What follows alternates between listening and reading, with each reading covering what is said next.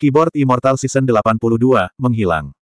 Hilang. Bilinglong sangat terkejut ketika dia mendengar kata itu. Apa yang kamu maksud dengan menghilang? Mereka menghilang begitu saja, jawab Piao Duandiao. Mereka tidak pernah kembali setelah waktu yang lama, dan kami tidak dapat menghubungi mereka. Kami juga tidak menemukan mayat mereka. Bilinglong dan Zuan bertukar pandang. Mereka bisa melihat keseriusan di mata satu sama lain.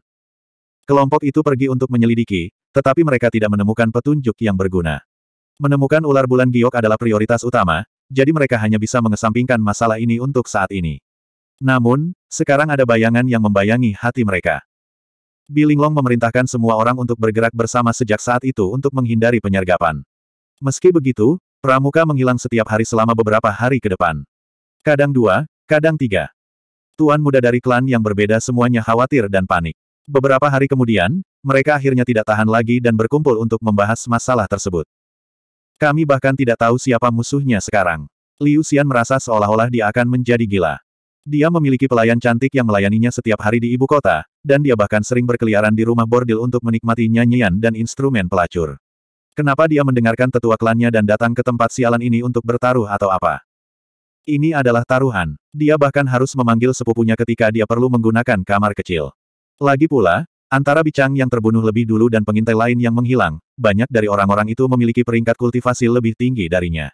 Itu sebabnya dia selalu sangat tegang. Dia tidak bisa membantu tetapi merasa bahwa dia adalah yang berikutnya di talenan. Mungkinkah itu binatang buas? Gao Ying merenung saat dia menganalisis situasinya. Apa yang terjadi baru-baru ini berbeda dengan apa yang terjadi pada Bicang. Mungkinkah pengintai yang hilang itu telah ditangkap oleh binatang buas yang mengintai, dan kemudian dimakan sebagai makanan? Mungkin itu sebabnya kami tidak dapat menemukannya. Liu Xian menjadi lebih ketakutan saat mendengar spekulasi Gao Ying. Aku menggigil setiap kali aku berpikir bahwa para pengintai itu dimakan oleh binatang buas dan berubah menjadi kotoran. Pramuka yang tersisa di dekatnya semua memelototinya. Para pengintai itu adalah rekan mereka, namun orang ini sebenarnya menggambarkan mereka seperti ini. Gao Ying juga terdiam. Sepupunya benar-benar telah melewati batas. Dia benar-benar idiot, namun dia suka berbicara dan membungkam mulutnya yang sialan itu. Tetapi karena statusnya, seorang kerabat dari klan Liu seperti dia tidak bisa mengatakan apa-apa. Tidak ada kemungkinan itu menjadi binatang buas. Gu Heng menyuarakan analisisnya. Jika itu adalah binatang buas, maka pasti ada bekas darah yang tertinggal, atau tulang yang tertinggal setelah dilahap. Tidak mungkin tidak akan ada satu hal pun yang tertinggal. Petik 2.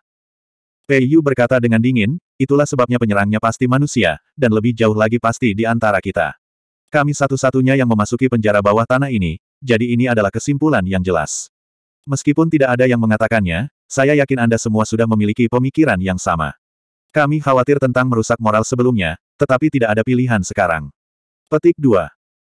Mata Bilinglong menyipit saat dia menjawab, kalau begitu, apakah Tuan Muda Pei punya ide tentang siapa pelakunya? Sebenarnya cukup sederhana untuk mengetahui siapa pembunuhnya. Pei Yu berhenti dengan sengaja. Matanya mengamati orang-orang yang hadir. Yang lain mendengarkan dengan ama ketika mereka mendengar Pei Yu berbicara, menunggu kata-kata selanjutnya. Zhao Si berkata dengan tidak sabar, cepat dan bicaralah jika kamu memiliki sesuatu untuk dikatakan. Kenapa kamu tiba-tiba berhenti di tengah-tengah omong kosongmu seperti Meng Pan? Petik 2. Meng Pan meraung marah, apa yang kamu coba katakan? Zhao Si mendengus. Dia berbalik dan mengabaikannya. Pei Yu juga merasa jijik, dan hanya setelah beberapa saat dia memulihkan ketenangannya. Dia menatap Zhao Xi dan berkata, cukup sederhana. Setelah sesuatu terjadi pada Bicang, Putri Mahkota meminta kita semua untuk bergerak bersama. Niat Putri Mahkota adalah agar kita semua saling menjaga, tetapi itu akhirnya menghasilkan hasil lain, yaitu tidak ada dari kita yang bisa diam-diam pergi dan membunuh sendiri. Sementara itu, satu-satunya yang bisa bergerak sendiri selain Putra Mahkota dan Putri adalah Tuan Su. Dia tidak melanjutkan berbicara sesudahnya. Semua yang hadir tahu apa yang dia maksudkan. Tidak mungkin putra mahkota dan putri adalah pembunuhnya, yang berarti hanya Zuan yang tersisa. Zuan terkekeh saat melihat yang lain memandangnya. Kau mencurigaiku. Pei Yu berkata dengan acuh tak acuh, aku hanya membuat pernyataan yang rasional. Ekspresi Bilinglong berubah beberapa kali. Saat dia melihat Zuan, matanya penuh dengan kekhawatiran, keraguan, ketakutan, dan segala macam emosi lainnya. Yang lain diam-diam menjaga jarak antara Zuan dan diri mereka sendiri. Hanya Piao Duan Diao, Jiao Sigun, dan beberapa orang lainnya yang terus berdiri di sisinya. Zuan mengangkat bahu. Harus ada motif di balik setiap tindakan. Sebagai bendahara putra mahkota, aku adalah perwujudan kepercayaan putri mahkota. Kenapa aku melakukan hal seperti ini? Meng Pan terkekeh dan berkata, itu cukup mudah. Anda dari klan Chu, dan semua orang tahu bahwa klan Chu dekat dengan klan Qin. Pewaris klan Chu bahkan memberimu banyak hal sebelum kamu masuk, dan nona muda klan Murong bahkan memberimu kantong penyimpanan. Bagaimana bisa sesuatu yang berharga ini diberikan secara acak seperti itu? Hubungan klan Qin dan klan Murong dengan Raja Qi adalah sesuatu yang tidak perlu aku bicarakan, kan? Zuan tercengang. Kamu pikir aku bekerja untuk Raja Qi? Jiao Sigun berteriak dengan marah, bagaimana mungkin? Semua orang tahu bahwa Sir Zhu dan Raja Qi tidak akur. Dia membuat faksi Raja Qi menderita kerugian besar sejak dia datang ke ibu kota. Petugas keamanan dan jenderal pengawal kiri, bahkan peran penting seperti itu hilang karena Sirsu. Bagaimana mungkin dia bekerja untuk Raja Qi? Petik 2. Gusing melangkah maju dan berkata, itu cukup sederhana. Bukankah itu hanya melukai diri sendiri untuk mendapatkan kepercayaan musuh? Kalau tidak, semua orang akan mencurigainya. Petik 2. Piao Duan Diao mendengus. Bahkan reputasi pewaris Raja Qi mencapai titik terendah karena dia. Jika itu masalahnya, bukankah kerugiannya akan terlalu parah? Gusing kehilangan kata-kata, tetapi Gu Heng melangkah maju dan berkata, jika dia mencoba menipu orang biasa seperti kita, berurusan dengan Murong Tong dan Cheng Xiong sebelumnya sudah cukup. Namun, jika dia ingin menipu orang-orang cerdas seperti Yang Mulia, Putra Mahkota, dan Putri Mahkota, Murong Tong dan Cheng Xiong saja masih jauh dari cukup. Karena itulah mereka tidak segan-segan merelakan pewaris Raja Ki agar terlihat lebih baik. Kalian semua, pikirkan baik-baik. Pewaris Raja Ki memiliki delapan peringkat kultivasi, sementara bahkan Han Fengqiu, seorang kultivator peringkat sembilan, ada di sana untuk mengawasi situasi. Bagaimana mungkin mereka bisa kalah dari Zuan? Itulah mengapa ada pepatah yang mengatakan, terlalu jauh sama buruknya dengan tidak cukup. Itu malah bisa menghasilkan lubang dalam rencana seseorang. Petik 2. Yang lain mengangguk setuju, merasa bahwa penilaian seperti itu sangat masuk akal. Mereka mengira pewaris Raja Ki mungkin telah dikalahkan karena ahli elemen air yang misterius, tetapi bahkan dengan jaringan intelijen mereka yang kuat, mereka tidak berhasil menemukan siapa ahli misterius itu. Tapi semuanya masuk akal jika itu hanya tindakan pewaris Raja Ki yang diatur dengan Zuan. Karena itu, ketika mereka melihat Zuan, mata mereka dipenuhi dengan permusuhan. Zuan tertawa terbahak-bahak. Kenapa kalian semua menatapku seperti itu? Bahkan yang mulia tidak melihat apa pun, apakah kamu pikir kamu lebih tangguh daripada kaisar? Petik 2. Napas Guheng berhenti. Tentu saja aku tidak bisa dibandingkan dengan Yang Mulia. Mungkin Yang Mulia punya rencana lain dengan tidak mengekspos Anda, dan sengaja menggunakan garis panjang untuk menangkap ikan yang lebih besar. Hanya saja tidak ada yang mengharapkan Anda untuk mengungkapkan lubang dalam perilaku Anda sebelumnya di penjara bawah tanah ini. Kepribadian Zhao Xi adalah yang paling eksplosif. Kamu, kamu telah membunuh begitu banyak orang kami. Sudah waktunya bagimu untuk membayar dengan nyawamu. Tuan-tuan muda menghunus senjata mereka dan mengepung Zuan ketika Zhao Si selesai berbicara. Piao Duan Diao dan Jiao Sigun kehabisan akal saat mereka berdiri di sisi Zuan. Mereka berdua melihat ke arah Bi Linglong untuk melihat apa yang akan dia lakukan. Zuan juga melihat ke arahnya, bertanya, Putri Mahkota, bagaimana menurutmu? Bi Linglong menghela nafas dan berkata, kamu harus pergi. Apa? Zuan bertanya, bingung. Bi Linglong berkata dengan acuh tak acuh, karena mempertimbangkan semua yang telah Anda lakukan, saya tidak akan menyusahkan Anda. Anda bisa pergi sendiri. Hidup dan matimu akan tergantung pada dirimu sendiri. Puteri Mahkota. Semua tuan muda berteriak. Bagaimana kamu bisa membiarkan seorang pembunuh pergi begitu saja? Saya sudah membuat keputusan, masalah ini diselesaikan. Bilinglong pergi sendirian, sosoknya yang kesepian semakin menjauh. Aku telah melakukan begitu banyak untukmu dan putra mahkota, namun kamu masih memilih untuk mempercayai mereka dan bukan aku. Zuan berteriak dengan marah. Sosok Bilinglong berhenti sejenak, tapi dia tetap tidak berhenti. Gusing melompat di depannya dan berseru, kamu, apa yang kamu teriakan? Kenapa kamu belum tersesat? Jika kamu terus memprovokasi putri mahkota, kamu mungkin tidak bisa pergi bahkan jika kamu mau. Zuan benar-benar mengabaikan gonggongannya dan malah berkata dengan serius, Bilinglong, kamu akan segera menyesali keputusanmu. Mulai sekarang, semua ikatan di antara kita akan putus. Kurang ajar. Kamu berani memanggil putri mahkota dengan namanya. Gusing sangat kesal saat melihat Zuan benar-benar mengabaikannya. Dia segera membuat keributan besar. Anda telah berhasil mengendalikan Gusing untuk plus 444 poin kemarahan. Yang lain dengan cepat mengepung Zuan. Suasana dengan cepat menjadi sangat tegang. Aku sudah mengatakan untuk membiarkan dia pergi, kata Bilinglong dengan suara sedingin es. Yang lain hanya bisa membuka jalan. Zuan mengayunkan lengan bajunya dan pergi dengan ekspresi pucat. Kakak Su, Piao Duan Diao dan Jiao Sigun bergegas mendekat. Saat mereka memandangnya, mata mereka penuh dengan kekhawatiran. Zuan menggelengkan kepalanya dan tidak mengatakan apa pun kepada mereka. Sosoknya yang kesepian menuju ke kedalaman hutan sendirian. Huff, membiarkan dia pergi seperti ini benar-benar melepaskannya terlalu mudah, kata Meng Pan dengan gigi terkatup. Zhao Si tertawa. Jika kamu begitu kesal, lalu mengapa kamu tidak diam-diam mengejarnya dan membunuhnya? Kami berjanji tidak akan melaporkan hal ini kepada Putri Mahkota. Meng Pan mendengus. Persetan aku akan percaya padamu. Dia kembali ke tendanya setelah berbicara. Tuan muda lainnya memiliki ekspresi yang bertentangan. Mereka semua kembali ke tenda mereka sendiri sambil berpikir keras. Ketika Zuan pergi, saudara-saudara klan Gu segera berlari ke sisi Bi Linglong untuk siap dan memanggilnya. Sayangnya, suasana hati Bi Linglong jelas tidak bagus karena masalah Zuan. Gusing berkata, Linglong, aku tahu kamu tidak merasa baik sekarang karena kamu mempercayai orang yang salah, tetapi keadaan sekarang akan berubah menjadi lebih baik. Sekarang setelah kita menyingkirkan pembuat onar, kita akan lebih percaya diri dalam menyelesaikan ujian besar putra mahkota.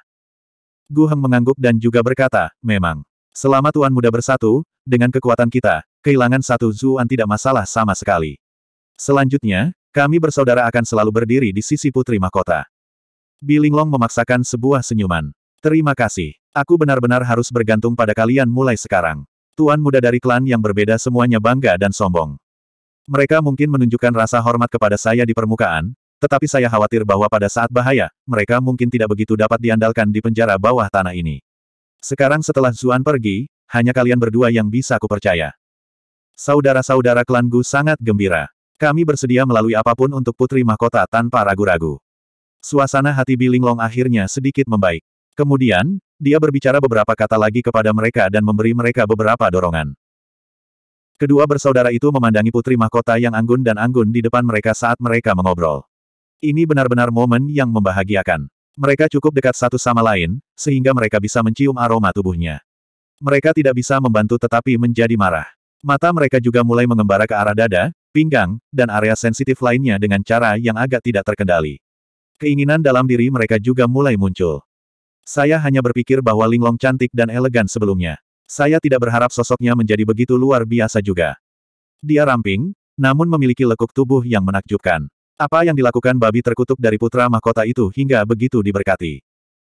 Hem, putri mahkota sepertinya tidak keberatan Zuan memeluknya. Apakah putra mahkota memiliki fetis semacam ini, atau dia tidak tahu apa artinya itu? Terlepas dari yang mana itu, sepertinya kita punya kesempatan. Pada hari-hari berikutnya, tidak ada pramuka yang hilang lagi. Kelompok itu menghela nafas lega. Zhao Si tertawa terbahak-bahak. Sepertinya pembunuhnya memang Zuan itu.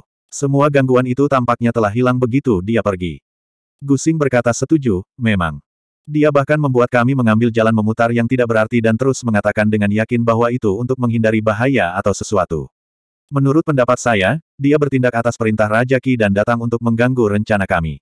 Jalan memutar malah membuatnya lebih mudah untuk menyingkirkan orang-orang kita. Gu Heng menangkupkan tangannya ke arah Pei Yu. Kita harus berterima kasih kepada Tuan Muda Pei untuk ini. Jika bukan karena Anda mengungkap plot jahatnya, kami mungkin tidak tahu apa yang harus dilakukan karena semakin banyak orang mati. Petik 2. Pei Yu berkata dengan acuh tak acuh, saya hanya memberikan pengurangan yang paling masuk akal. Saya tidak mencoba menargetkan siapa pun. Setelah mengatakan itu, dia pergi dengan membawa pedang di tangannya dengan sikap menyendiri. Bilinglong memiliki ekspresi termenung saat dia melihatnya pergi. Suasana santai pesta mereka tidak berlangsung lama, karena mereka dengan cepat menghadapi bahaya. Mereka tanpa sadar memasuki wilayah beberapa serigala putih raksasa dan benar-benar terkepung. Untungnya, mereka semua memiliki keterampilan dan alat yang kuat, yang memungkinkan mereka untuk melarikan diri dari wilayah serigala. Tapi bahkan sebelum mereka bisa merayakannya, mereka menerobos masuk ke wilayah beberapa laba-laba api hijau berwajah iblis. Baru sekarang mereka menyadari mengapa serigala putih raksasa tidak terus mengejar mereka. Banyak prajurit terbungkus jaring laba-laba, lalu langsung disedot oleh laba-laba api hijau berwajah iblis. Beberapa dari mereka mendapat beberapa api hijau laba-laba pada mereka, dan seluruh tubuh mereka langsung dikelilingi oleh api hijau. Mereka tidak bisa memadamkan api tidak peduli apa yang mereka lakukan dan dibakar menjadi abu dalam rentang beberapa detik. Ketika mereka akhirnya berhasil melarikan diri entah bagaimana, mereka menghadapi serangan Black Steel Thunder Snake. Seperti namanya, Tubuh mereka sekuat baja, membuat serangan dari berbagai prajurit klan tidak efektif, dan mereka bahkan bisa menggunakan kekuatan listrik. Mereka yang menghadapinya merasakan bagaimana rasanya disambar petir. Untungnya, perintah Bilinglong sangat baik, sehingga kelompok mereka akhirnya dapat melarikan diri ke tempat yang lebih aman. Tetapi setelah menderita tiga bencana berturut-turut, hanya sepertiga dari pasukan besar mereka yang tersisa. Anggota partai yang tersisa terluka dan tertutup debu. Bahkan pakaian Bi Linglong robek. Satu-satunya yang benar-benar tidak terluka adalah putra mahkota, karena dia adalah prioritas utama untuk perlindungan. Tidak ada yang berani membiarkannya menderita sedikit pun. Sekarang sepertinya tidak ada cara bagi kelompok mereka untuk melanjutkan langkah berani mereka. Ketika mereka yakin bahwa tidak ada lagi bahaya di sekitar mereka, para penyintas mendirikan kemah dan mulai mengobati luka-luka mereka. Namun, setelah semua yang terjadi, individu yang berpangkat lebih tinggi harus mengadakan pertemuan. Mereka melaporkan korban mereka, dan mendiskusikan di antara mereka sendiri apa yang harus mereka lakukan sejak saat itu. Semangat juang mereka sudah turun jauh dibandingkan sebelumnya. Mereka semua menghela nafas dalam-dalam. Tuan muda yang biasanya berbicara dengan percaya diri semuanya tampaknya telah direndahkan. Bukannya Gao Ying yang biasanya diam yang berbicara lebih dulu. Apakah ada yang salah dengan penjara bawah tanah ini? Mengapa binatang buas yang kita temui jauh lebih tangguh daripada yang dikatakan kecerdasan kita? Memang, menurut intelijen kami, apakah itu serigala putih raksasa atau laba-laba api hijau berwajah iblis, meskipun mereka berbahaya bagi kami, kami memiliki keunggulan jumlah di pihak kami, dan persiapan kami cukup. Seharusnya tidak ada alasan bagi kami untuk menderita kerugian yang begitu parah, kata Meng Pan. Zhao Si mengerutkan kening. Apakah Akademi sengaja membodohi kita dan berbohong kepada kita tentang kultivasi mereka? Itu tidak mungkin. Bilinglong segera membantah kecurigaannya. Akademi selalu netral, mereka tidak akan pernah membantu Raja Qi menjerat kita. Lebih jauh lagi, orang-orang Akademi bukanlah satu-satunya yang pernah memasuki Dungeon ini sebelumnya, kami telah mengirim orang sebelumnya juga. Kecerdasan yang mereka berikan kepada kami identik dengan Akademi. Petik 2. Lalu mengapa binatang buas ini jauh lebih kuat? Meng Pan bertanya, ekspresinya gelap. Mereka tidak dapat memahami situasinya tidak peduli bagaimana mereka memikirkannya. Piao Duan Diao tiba-tiba berkata, sepertinya kakak Zu membuat kita mengambil jalan memutar untuk menghindari binatang buas yang berbahaya ini. Jika dia masih di sini, kita tidak akan menderita kerugian yang begitu serius. Jiao Sigun menambahkan, tepat. Semua orang mengira dia menahan misi kita tanpa alasan, tapi sekarang, sepertinya kita benar-benar salah paham tentang dia. Yang lain merasa wajah mereka memanas. Mereka semua merasa malu. Bagaimanapun, mereka semua memiliki bagian dalam mengusir Zuan. Beberapa dari mereka benar-benar merasa menyesal. Namun, ada juga orang yang tidak setuju. Zuan masih tersangka yang paling mencurigakan. Kami mungkin bisa menghindari binatang buas ini dengan bepergian bersamanya, tetapi jika dia membunuh beberapa orang kami setiap hari, maka korban kami hanya akan menjadi lebih buruk seiring berjalannya waktu. Pei Yu mendengus. Dia adalah orang yang memimpin tuduhan terhadap Zuan, jadi dia harus berdiri tegak di sini. Jiao Sigun bertanya, bukankah ini terlalu tidak berdasar? Orang-orang itu mungkin tidak dibunuh oleh Zuan. Kamu benar, aku merasa itu cukup aneh juga. Gu Heng tiba-tiba angkat bicara. Jiao Sigun dan Piao Duan Diao tercengang. Orang ini adalah salah satu yang paling membenci Zuan, mengapa dia tiba-tiba berbicara untuk mendukung Zuan? Gu Heng melanjutkan, kami disesatkan oleh itu dan mengusir Tuan Su. Sayangnya, sekarang sudah terlambat untuk menyesal. Pei Yu mengerutkan kening. Apa yang kamu coba katakan? Gu Heng berkata dengan tegas, siapa yang memilih jalan kali ini? Yang lain kaget. Mereka semua menatap Pei Yu. Ekspresi Pei Yu berubah. Aku hanya mengikuti jejak yang ditinggalkan oleh Jade Moon Serpent, bagaimana saya bisa tahu bahwa ada begitu banyak sarang binatang buas di sini? Apakah kamu benar-benar tidak tahu atau kamu hanya berpura-pura? Gu Xing bertanya. Tuan Zhu mengubah rencana perjalanan Anda beberapa kali sebelumnya untuk menghindari binatang buas itu, jadi rencana Anda hancur. Itu sebabnya Anda mencoba mengusirnya. Setelah itu, Anda akhirnya bisa membawa kami ke dalam jebakan itu. Petik 2. Liu Xian menyeka kotoran yang menutupi wajahnya dan mengutuk. Huff, aku tidak pernah menyukai caramu berbicara selama ini, aku tahu ada yang salah denganmu. Siapa yang mengira bahwa kamu benar-benar sejahat ini? Zhao Xi berdiri saat itu juga, mengelilingi Pei Yu dengan yang lain. Tuan Pei, saya mempercayai Anda saat itu, namun kami hanya salah paham pada Zuan. Bicaralah, siapa yang mengirimmu ke sini? Petik 2. Pei Yu memegang pedangnya dekat dengannya. Omong kosong mutlak. Motif apa yang saya miliki untuk menyakiti kalian semua? Petik 2. Meng Pan menjawab dengan muram, bagaimana mungkin kamu tidak memiliki motif? Klan Pei Anda memiliki dua cabang, salah satunya dengan kuat mendukung faksi Raja Qi. Kakekmu juga tidak akur dengan Sir Bi, hanya ayahmu yang cocok dengan Bi Xiang. Sungguh aneh sekarang aku memikirkannya. Mungkin klan Pei yang mengirimmu untuk menyusup ke klan Bi. Sekarang, rencana mereka akhirnya berhasil. Jelas bahwa Bilinglong bukan satu-satunya yang mencurigai Pei Yu. Ekspresi Pei Yu berubah beberapa kali. Itu normal untuk sebuah klan milik beberapa faksi, bahkan ayah dan anak dapat menjadi bagian dari pihak yang berbeda. Itu adalah kejadian umum dalam sejarah. Apa yang aneh tentang itu? Mungkin tidak aneh jika hanya itu, tetapi jika kita berpikir tentang bagaimana kamu mengusir Zuan, dan kemudian dengan sengaja membawa kita ke wilayah binatang buas, bukankah itu terlalu kebetulan? Gu Heng mencibir. Pei Yu tertawa terbahak-bahak saat melihat tatapan curiga yang lain. Aku tidak menyangka kalian semua memendam perasaan buruk seperti itu terhadap klan Pei kita. Sepertinya keputusan ayahku saat itu benar-benar salah, dan terlebih lagi sangat salah. Begitu dia selesai berbicara, dia menghunus pedangnya. Tebasan kecemerlangan pedang yang indah menyerang kelompok itu. Lindungi putra mahkota dan putri. Yang lain segera menjadi khawatir. Mereka merasa bahwa serangan pedang ditujukan pada mereka, dan menjadi 120% waspada. Tapi pada akhirnya, serangan Pei Yu hanyalah tipuan. Dia tidak benar-benar menyerang dan menggunakan kesempatan itu untuk berlari cepat.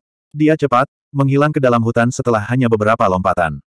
Itu menyembunyikan kekuatan aslinya. Lagi pula dia punya desain jahat. Zhao Xi mencoba mengejarnya, tapi dia tidak bisa mengejarnya. Spittle terbang ke mana-mana saat dia mengutuk.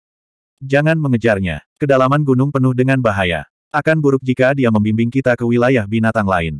Bilinglong memberi perintah, kunci semua orang klan Pei dulu. Prajurit klan Pei terkejut. Saat menghadapi pengepungan klan lain, mereka semua tampak seperti akan bertarung sampai mati. Untungnya, Bilinglong berkata, saya yakin Anda tidak tahu tentang masalah Pei Yu. Selama Anda menurunkan senjata Anda, saya menjamin keselamatan Anda atas nama saya. Setelah kami meninggalkan penjara bawah tanah ini, Anda akan diadili oleh pengadilan. Petik 2. Prajurit klan Pei saling memandang dengan cemas. Pada akhirnya, mereka melepaskan perlawanan mereka karena menghormati prestise putri mahkota yang biasa. Lagi pula, sekarang Tuan Muda klan Pei telah melarikan diri, mereka tidak memiliki pemimpin. Mereka pasti akan mati jika mereka benar-benar bertarung dan paling banyak hanya bisa menyeret beberapa orang bersama mereka. Karena Putri Mahkota telah memberi mereka janji ini, mereka ingin mempertahankan hidup mereka juga. Setelah orang-orang klan Pei dikurung, tuan muda lainnya pergi ke tenda Putra Mahkota untuk mendiskusikan apa yang harus dilakukan. Ini benar-benar hanya satu bencana demi satu. Liu Xian mengipasi dirinya dengan kipasnya yang sudah agak compang camping. Dia melepaskan desahan berat. Gao Xing juga berkata dengan cemberut, ada hal lain yang lebih penting. Di grup kami, hanya Pei Yu saja yang memiliki cara untuk melacak ular bulan giok. Tidak mungkin ada di antara kita yang bisa menemukannya di gunung yang begitu besar, jadi bagaimana kita bisa menyelesaikan misi ini? Gu Heng bertanya, bagaimana kalau kita menemukan Tuan Su lagi? Karena dia bisa dengan akurat menghindari sarang binatang buas ini, dia mungkin akrab dengan gunung ini. Dia harus punya cara. Ketika mereka mendengar Gu Heng, yang lain menatapnya dengan alis terangkat. Bahkan Biling Long memberinya beberapa tatapan aneh. Wajah Gu Heng memanas. Saya memang agak tidak puas dengan Tuan Su sebelumnya, dan iri karena dia bisa mendapatkan kepercayaan Putri Mahkota. Tetapi sekarang saya tahu dia benar-benar memiliki keterampilan, dan perjalanan ini terkait dengan ujian besar Putra Mahkota, bagaimana saya bisa membiarkan keluhan pribadi saya memengaruhi situasi yang lebih besar. Bilinglong tidak bisa menahan diri untuk tidak berkata, Kakak Gu, terima kasih. Seluruh tubuh Gu Heng tampak melemah saat mendengar dia memanggilnya, Kakak Gu. Dia hanya memanggilnya begitu ketika mereka masih muda. Sudah lama sejak dia mendengar dia memanggilnya seperti itu. Kami tidak berani menerima ucapan terima kasih karena melakukan pekerjaan kami dalam membantu Putri Mahkota. Gusing dengan cepat angkat bicara. Dia tidak bisa membiarkan kakak laki-lakinya mengambil semua sorotan. Kelompok itu mendiskusikan hal-hal sedikit lebih lama, dan kemudian memutuskan untuk bertindak ketika langit cerah kembali. Terlalu berbahaya untuk bergerak di malam hari di pegunungan. Mereka akan mengirim beberapa orang untuk mencari Zuan di siang hari. Kemudian, mereka kembali ke tenda mereka untuk beristirahat. Setelah beberapa hari berturut-turut pertempuran besar, mereka semua terluka. Dengkuran keras dengan cepat bergema melalui tenda-tenda. Meskipun Bilinglong lelah, dia khawatir dengan hasil misinya, jadi dia tidak bisa tidur sama sekali. Tiba-tiba dia mendengar langkah kaki di luar tendanya. Dia berbalik dan bertanya, siapa itu? Ini kita. Saudara-saudaraku keduanya berbicara secara bersamaan. Apakah ada sesuatu yang Anda butuhkan? Bilinglong mengerutkan kening. Kami memiliki sesuatu untuk dilaporkan kepada Putri Mahkota, kata Gu Heng. Bilinglong mengencangkan kerahnya dan berkata dengan tegas, sudah terlambat. Mari kita bicarakan besok. Hal ini terkait dengan keselamatan semua orang. Akan terlambat jika kita membicarakannya besok, kata Gu Xing. Setelah ragu-ragu, Bilinglong mengambil jubah di sebelahnya, dan kemudian membungkusnya sendiri. Masuklah kalau begitu. Saudara-saudara klan Gu dengan cepat masuk. Ketika mereka masuk ke dalam, mereka segera melihat sekeliling. Mereka melihat bahwa Bilinglong adalah satu-satunya di dalam. Putra mahkota tidak tidur di sini. Gusing berseru, kaget. Bagaimanapun, Bilinglong dan putra mahkota tidur terpisah adalah rahasia yang hanya diketahui oleh beberapa orang di Istana Timur. Untuk mencegah orang lain mengetahui rahasia mereka, dia selalu berpura-pura tidur di tenda yang sama dengan putra mahkota. Ekspresi Bilinglong menjadi dingin saat dia berkata, itu bukan sesuatu yang harus kamu tanyakan. Tentu saja, tentu saja. Aku terlalu kasar, kata Gusing sambil tertawa kecil. Bilinglong tidak ingin melanjutkan pembicaraan tentang topik itu dan malah bertanya, apa yang ingin kamu katakan padaku? Gu Heng bertanya, apakah Putri Mahkota merasa bahwa pelaku utama kali ini adalah Pei Yu? Kenapa kamu tiba-tiba mengatakan itu sekarang? Alis indah Bilinglong berkerut. Gusing berkata, biarkan aku menjelaskannya. Ketika kami saudara kembali dan membahas masalah ini, kami merasa bahwa situasinya terlalu aneh. Zuan diusir, dan semua bukti mengarah padanya saat itu, namun kami akhirnya menganiaya dia. Itu berarti kita mungkin telah membuat kesalahan yang sama dengan Pei Yu hari ini. Sepertinya dia dalangnya, tapi mungkin saja orang lain. Dia diam-diam menilai Biling Long saat berbicara. Ini adalah pertama kalinya dia melihatnya di kamar batinnya. Meskipun dia memiliki jubah yang melilitnya, dia masih bisa samar-samar melihat pakaiannya di bawahnya. Sepertinya dia bahkan tidak punya waktu untuk berubah. Pakaiannya telah rusak selama pertempuran, jadi ada area yang memperlihatkan kulit putihnya. Bilinglong ragu-ragu dan berkata, tapi Pei Yu punya motif, dan ada tindakan mencurigakan. Dia bahkan pergi dengan hati nurani yang bersalah. Gu Heng bertanya, bukankah Zuan sama sebelumnya? Bilinglong bertanya dengan serius, lalu menurut kalian siapa pelaku sebenarnya? Kami mencurigai Meng Pan. Orang itu selalu mengincar Zuan, dan dia juga ikut serta mengusir Pei Yu. Sulit untuk tidak mencurigai motifnya. Meng Pan, Bilinglong mulai berpikir sendiri. Gu Heng menggunakan kesempatan ini untuk memeriksanya dari dekat. Alisnya yang sedikit berkerut benar-benar menarik hatinya. Huh, babi gendut putra mahkota itu benar-benar mengabaikan wanita secantik dia. Keinginan di matanya menyala semakin kuat. Bilinglong sepertinya merasakan sesuatu. Bibir merah cerahnya terbuka dan dia berkata, aku mengerti. Kalian berdua bisa kembali dulu. Saya akan memikirkan masalah ini. Petik 2. Saudara-saudara klan Gu bertukar pandang, dan kemudian mereka dengan cepat bertanya, bagaimana kalau kita memanggil orang-orang Gao Ying dan Raja Liang untuk menahan Meng Pan terlebih dahulu? Bilinglong dengan tenang menjawab, saya masih perlu memikirkan masalah ini. Kalian berdua harus kembali untuk saat ini. Ini sudah cukup larut.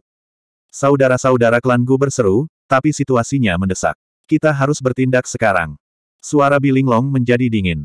Apakah kalian berdua mencoba mengajariku cara membuat keputusan? Sejujurnya, meskipun Meng Pan curiga, kalian berdua juga tidak sepenuhnya bebas dari kecurigaan. Kalian berdua ikut serta dalam mengusir Suan, juga Pei Yu. Ekspresi Gu Heng berubah. Putri Mahkota benar-benar mencurigai kita. Bilinglong berkata, saya jelas tidak mencurigai Anda, hanya saja sudah terlambat. Tidak pantas bagi kalian berdua untuk berada di sini. Jika ada hal lain, kita harus membicarakannya besok. Petik 2. Sebuah ekspresi yang bertentangan berkedip di wajah Gu Heng. Dia jelas ragu-ragu atas sesuatu. Gusing mencibir dan bertanya, kakak, bukankah kamu terlalu bimbang? Anda ingin mencicipi daging, namun Anda masih ingin terlihat terhormat melakukannya. Begitu kita kembali, aku jamin dia akan segera memerintahkan yang lain untuk menangkap kita. Gu Heng menghela nafas. Jika bukan karena tidak ada pilihan lain, aku juga tidak ingin seperti ini. Bi Linglong terkejut. Apa yang kalian berdua katakan? Gu Xing tertawa. Linglong, kamu selalu agak pintar sejak kamu masih kecil. Kami tahu itu juga. Itu sebabnya kamu tidak perlu berpura-pura di depan kami.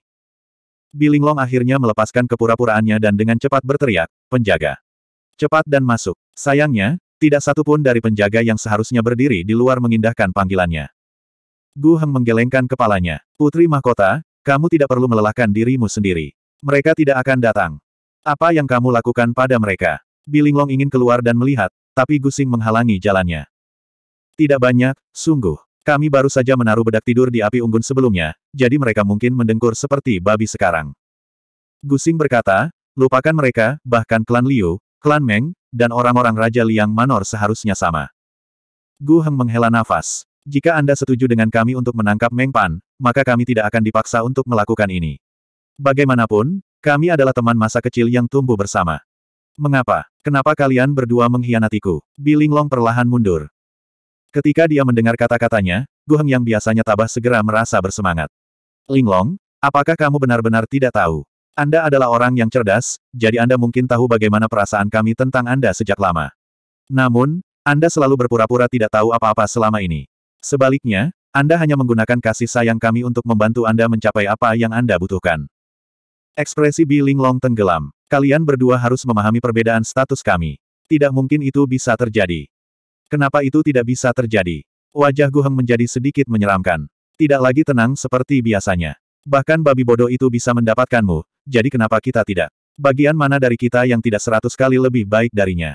Apakah hanya karena kami lahir di bawah klan cabang klan Bi Anda? Apakah itu sebabnya Anda bahkan tidak pernah mempertimbangkan kami? Petik 2. Bi Linglong menghela nafas. Aku selalu melihat kalian berdua sebagai saudara. Saya tidak pernah memiliki perasaan lain. Bukankah itu karena kamu meremehkan latar belakang kami? Gu Xing mencibir. Karena kamu membenci klan Gu, klan cabang kelas 2, kami akan mengubah klan Gu menjadi klan kelas satu seperti klan Bimu. Bukankah kita akan memiliki status yang sama? Bi Linglong mendengus. Apakah kamu masih belum bangun dari delusimu? Gusing tertawa terbahak-bahak. Memang, dalam situasi normal, klan pembantu seperti kami bukanlah apa-apa bagi klan Bimu. Tentu saja tidak mungkin kami memiliki status yang sama dengan Anda. Itu sebabnya kami hanya bisa mencoba metode yang berbeda. Untungnya, Raja Ki sangat bijaksana dan cakap, dan dia juga merekrut talenta dari mana-mana. Selama kita bisa membantunya menyelesaikan misi ini, itu akan menjadi prestasi yang luar biasa. Klan Gu jelas akan mampu naik ke peringkat klan kelas 1, sementara klan Bi Anda akan menjadi klan cabang klan Gu kami. Linglong, jangan khawatir. Bahkan setelah Raja Qi naik tahta, Anda tetap tidak akan berada dalam bahaya. Sebaliknya, Anda akan menjadi nyonya klan Gu kami. Itu juga salah satu syarat yang dijanjikan Raja Qi kepada kita. Pertanyaan yang lebih penting saat ini adalah, siapa di antara kami bersaudara yang akan kamu pilih? Bab 813. Bilinglong sangat marah sehingga seluruh tubuhnya gemetar. Benar-benar keterlaluan. Kalian berdua berani memiliki pemikiran seperti itu tentang saya. Petik 2. Gusing memutar matanya. Linglong, sebentar lagi kamu tidak akan menjadi putri mahkota lagi. Apa gunanya mencoba mengintimidasi kami saat ini? Sejujurnya, jangan katakan padaku bahwa bersama kita benar-benar akan lebih buruk daripada bersama putra mahkota idiot itu. Orang itu benar-benar terbelakang mental. Kurasa dia bahkan tidak pernah membiarkanmu merasakan kebahagiaan sejati seorang wanita. Ekspresi Bi Linglong suram. Sepertinya kamu sudah yakin, atau kamu tidak akan berani mengatakan hal ini kepadaku. Gu Heng menatap adiknya. Saudaraku, Linglong adalah saudara perempuan yang tumbuh bersama kami. Bersikaplah lebih sopan dengan pidato Anda. Petik 2. Gusing mencibir, bro, apa gunanya mencoba bersikap seperti pria terhormat sekarang? Dilihat dari apa yang telah kita lihat sejauh ini, jelas bahwa Linglong sangat menyukai Zuan itu. Orang itu adalah dari jalanan. Tidak ada jejak seorang pria di tulangnya. Bukankah ini berarti Linglong lebih menyukai itu? Sejujurnya, kepribadian saya sedikit lebih dekat dengan Zuan. Kakak, sepertinya kamu kurang beruntung. Petik 2. Gu Heng segera mulai panik. Omong kosong, Linglong menyukai bangsawan yang jujur dan sederhana. Setelah tumbuh bersama, itu adalah sesuatu yang saya ketahui dengan baik. Bagaimana mungkin dia menyukai seperti dia? Bi Linglong mendengus. Gusing, kamu berani membandingkan dirimu dengan Suan. Bahkan seseorang sepertimu. Dia sendiri sebenarnya cukup bingung. Itu benar-benar seperti yang dikatakan Gu Heng, dia lebih suka tuan muda yang bermartabat dan tabah dari klan terkemuka. Dia dulu membenci tipe penjahat seperti Zuan, namun mengapa dia memandangnya jauh lebih baik?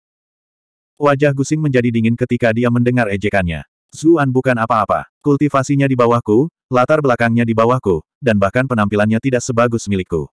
Seharusnya dia yang tidak berhak dibandingkan denganku. Bilinglong tertawa mengejek. Saya tidak pernah menyadari ini sebelumnya. Kamu jelas biasa, namun kamu tampaknya memiliki kepercayaan diri yang begitu besar tanpa alasan. Petik 2. Gusing sangat marah. Gu Heng dengan cepat menasihatinya untuk berhenti, dan kemudian menatap Bilinglong. Tidak peduli seberapa hebat Suan, kamu mengusirnya. Tidak ada artinya membicarakan hal-hal ini sekarang. Saya menyarankan Anda untuk bergegas dan memilih salah satu dari kami. Petik 2. Dia semakin yakin bahwa adiknya telah kehilangan semua perhatian di mata Bilinglong. Itulah mengapa dia memiliki keuntungan sekarang.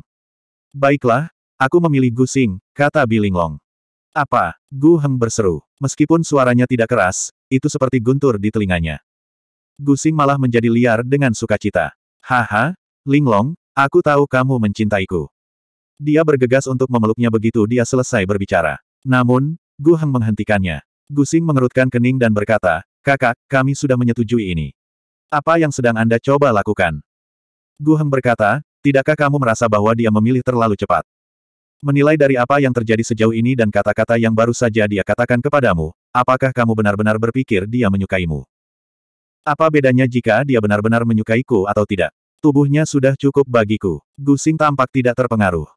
Bilinglong dan Gu Heng sama-sama terdiam. Gusing terkekeh sinis dan melanjutkan, selanjutnya, siapa yang tahu? Dia mungkin akan menyukaiku jika kita melakukannya beberapa kali. Gadis selalu sangat menghargai pria pertama mereka. Menurut rumor yang kami dapatkan dari istana, Linglong seharusnya masih perawan. Bilinglong membuang muka. Dia sedikit tersipu, seolah-olah dia malu. Dia jelas tidak ingin menjawab pertanyaan pribadi seperti itu. Gu Heng malah akan menjadi gila karena cemburu. Tidak apa-apa ketika mereka berdua baru saja diam-diam jatuh cinta, karena tidak satu pun dari mereka yang bisa mendapatkannya. Mereka bahkan bisa saling menghibur. Sekarang, adik laki-lakinya hendak membawa dewinya ke tempat tidur, namun dia tidak bisa berbuat apa-apa.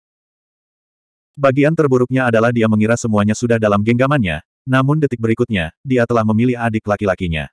Perasaan jatuh langsung dari awan sembilan ke tanah begitu mengerikan sehingga membuatnya ingin muntah darah.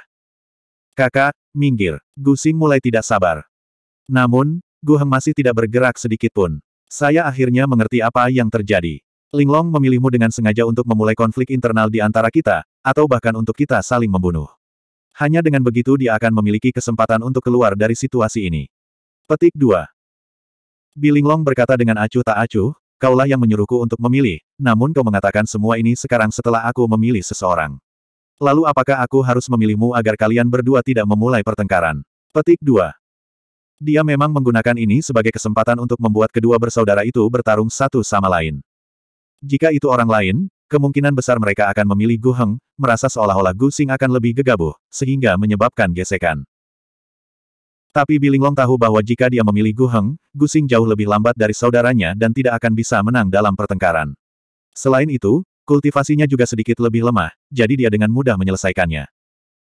Namun, jika dia memilih Gu Xing, Gu Heng bisa menggunakan segala macam alasan untuk keuntungannya. Dia bisa menemukan semua jenis alasan yang terdengar tinggi untuk menghentikan adiknya.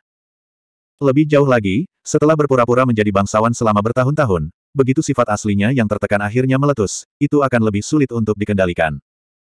Kenyataan menunjukkan bahwa pilihannya benar. Percikan konflik beterbangan saat mereka saling menatap tajam. Gusing juga berkata setuju, tepat. Apakah dia harus memilihmu? Cepat dan menyingkir. Kakak, bantu kami berjaga-jaga di luar tenda, iya. Petik 2.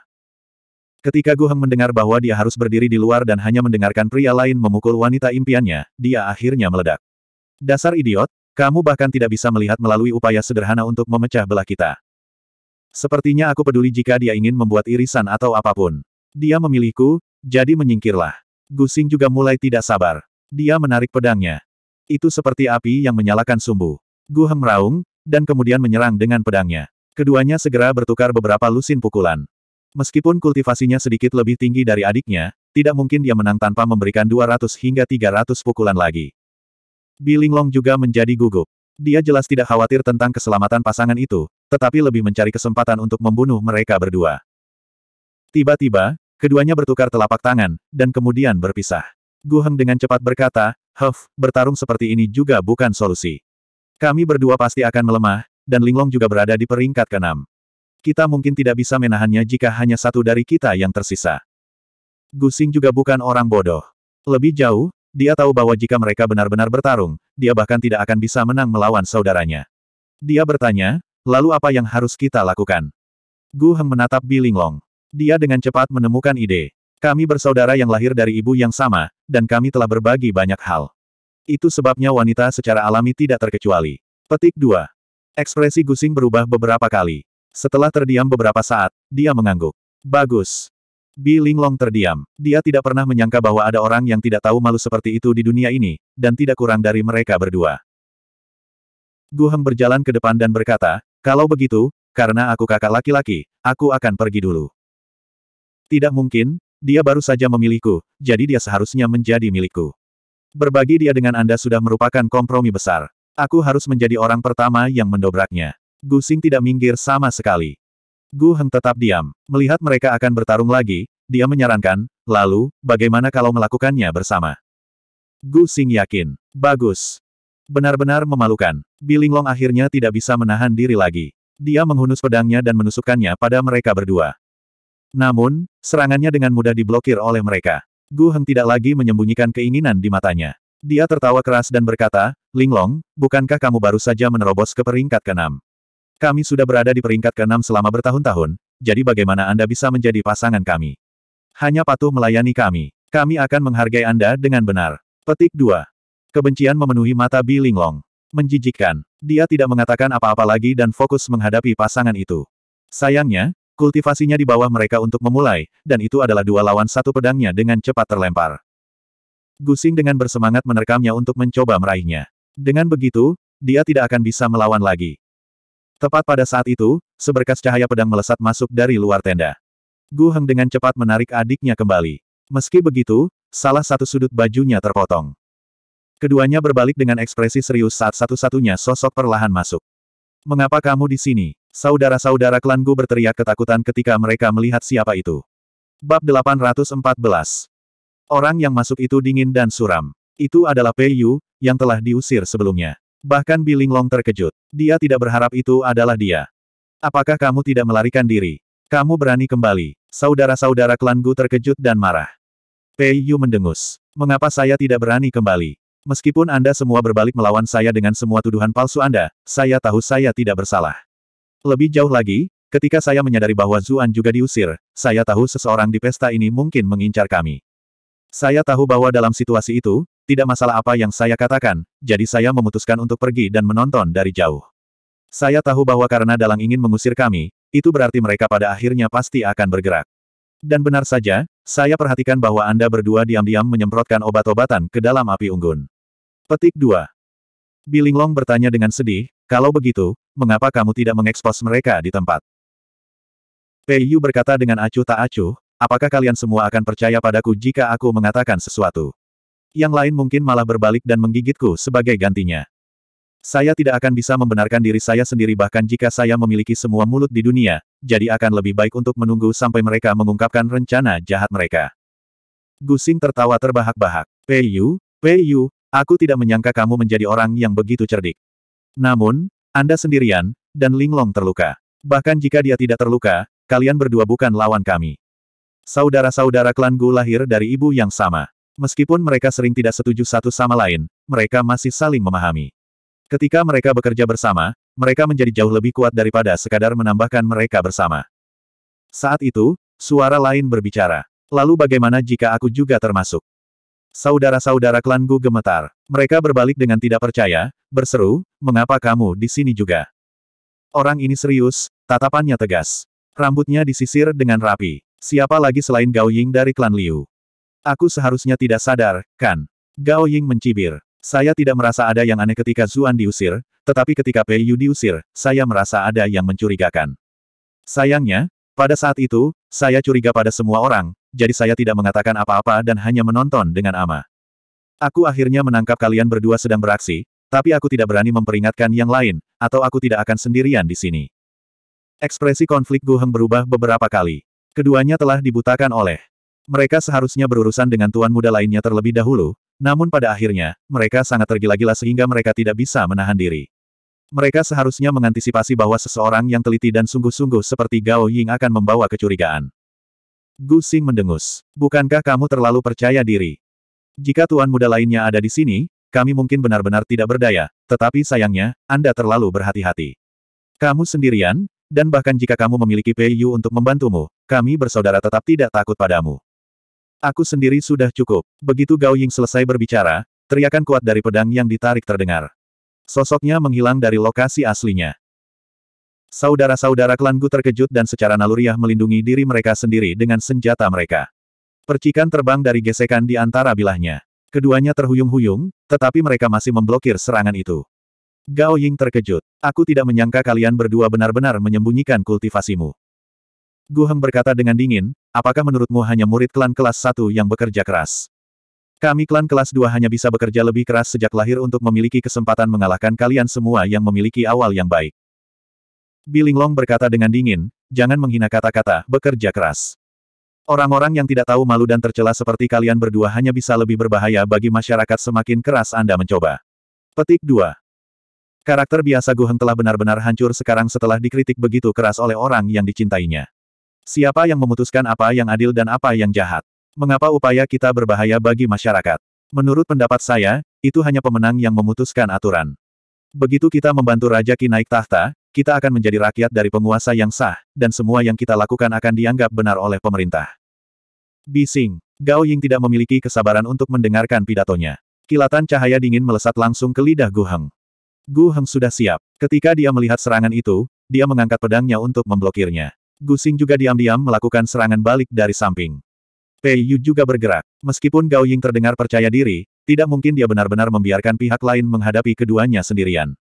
Jika terjadi kecelakaan, mereka akan membuang keuntungan yang begitu menguntungkan. Mereka berempat mulai berkelahi.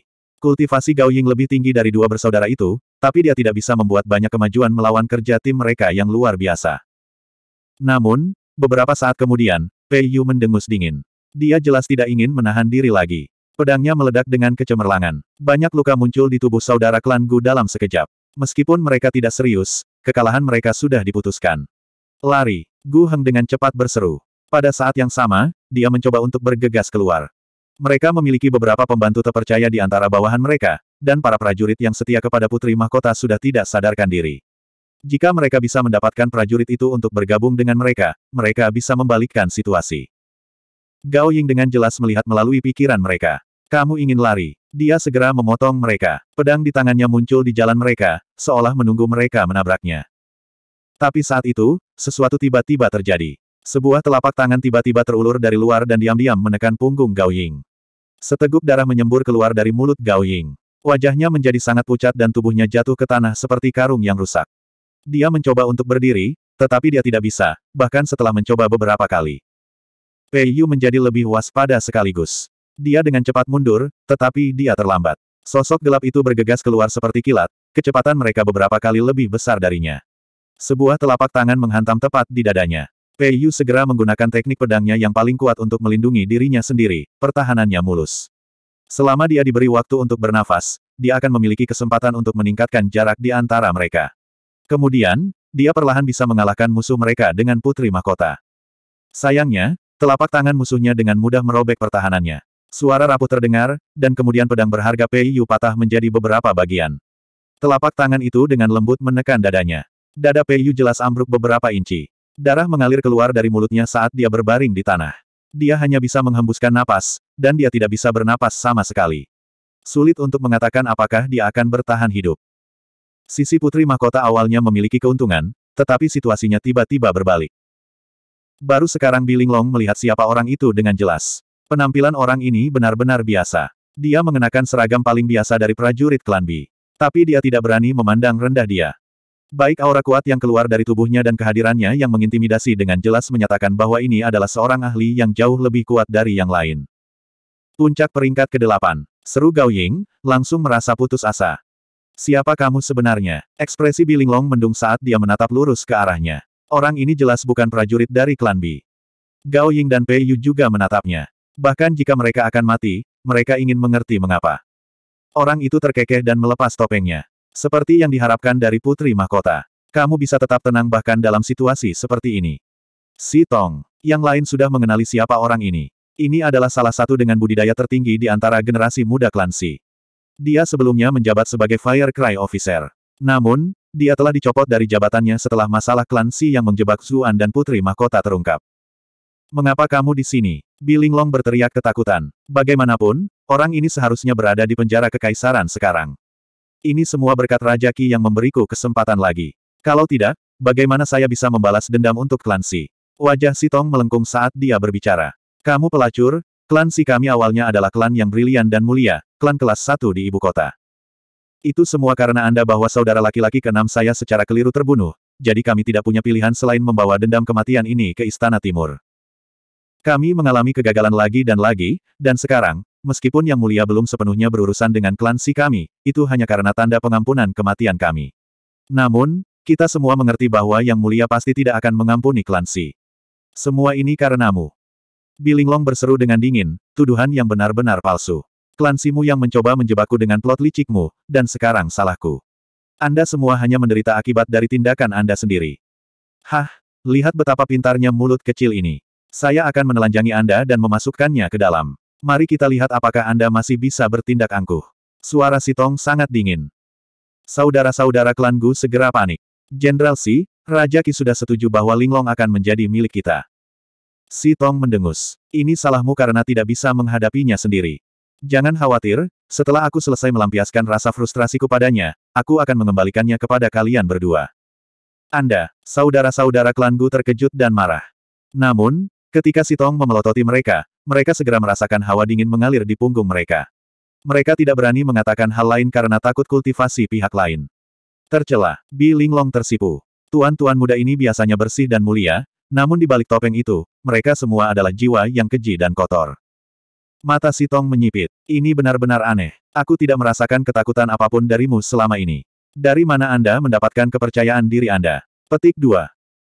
Bilinglong menarik napas dalam-dalam dan berseru, Tuan Su, berapa lama lagi Anda hanya akan duduk dan menonton drama ini?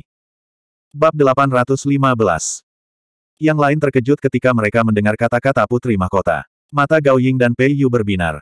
Jika Zuan datang, semua orang akan memiliki kesempatan untuk selamat. Namun, Ekspresi mereka dengan cepat menjadi gelap lagi. Lagi pula, menurut mereka, meskipun Zuan mungkin menyembunyikan kekuatannya, itu hanya akan berada di sekitar level mereka. Tidak ada bedanya melawan seseorang seperti Sitong yang berada di puncak peringkat ke-8. Masih belum ada peluang untuk menang. Dia bisa menghancurkan Zuan dengan satu tangan. Sebuah suara yang jelas dan cerah terdengar. Apa yang bisa kukatakan? Saya tidak berharap drama ini menjadi begitu menarik. Tentu saja saya harus meluangkan waktu untuk menontonnya dengan benar. Petik 2.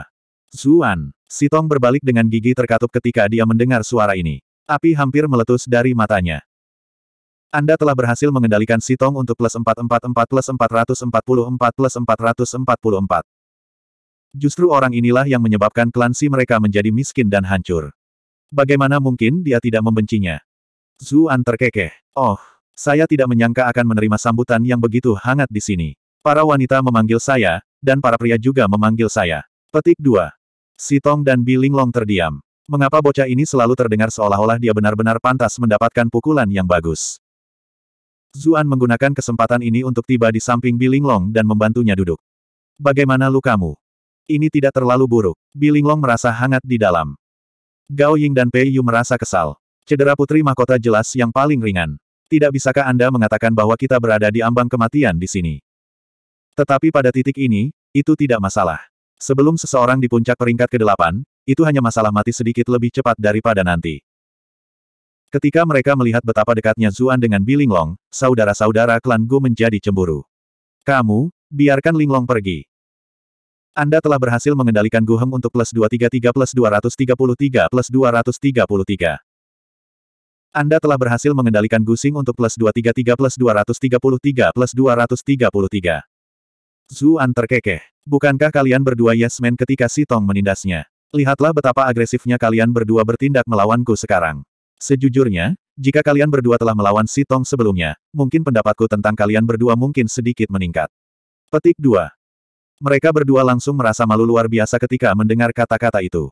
Mereka memang ketakutan di bawah tekanan Si Tong. Gu Heng merasa semakin sulit untuk menerimanya ketika dia melihat penghinaan di mata Bilinglong. Kamu pikir kamu siapa? Anda berani membandingkan diri Anda dengan Jenderal Si. Selanjutnya, mengapa kami bersaudara membutuhkan komentar Anda ketika kami melakukan sesuatu? Petik 2. Anda telah berhasil mengendalikan Guhem untuk plus 582 plus 582 plus 582. Zuan tertawa mengejek.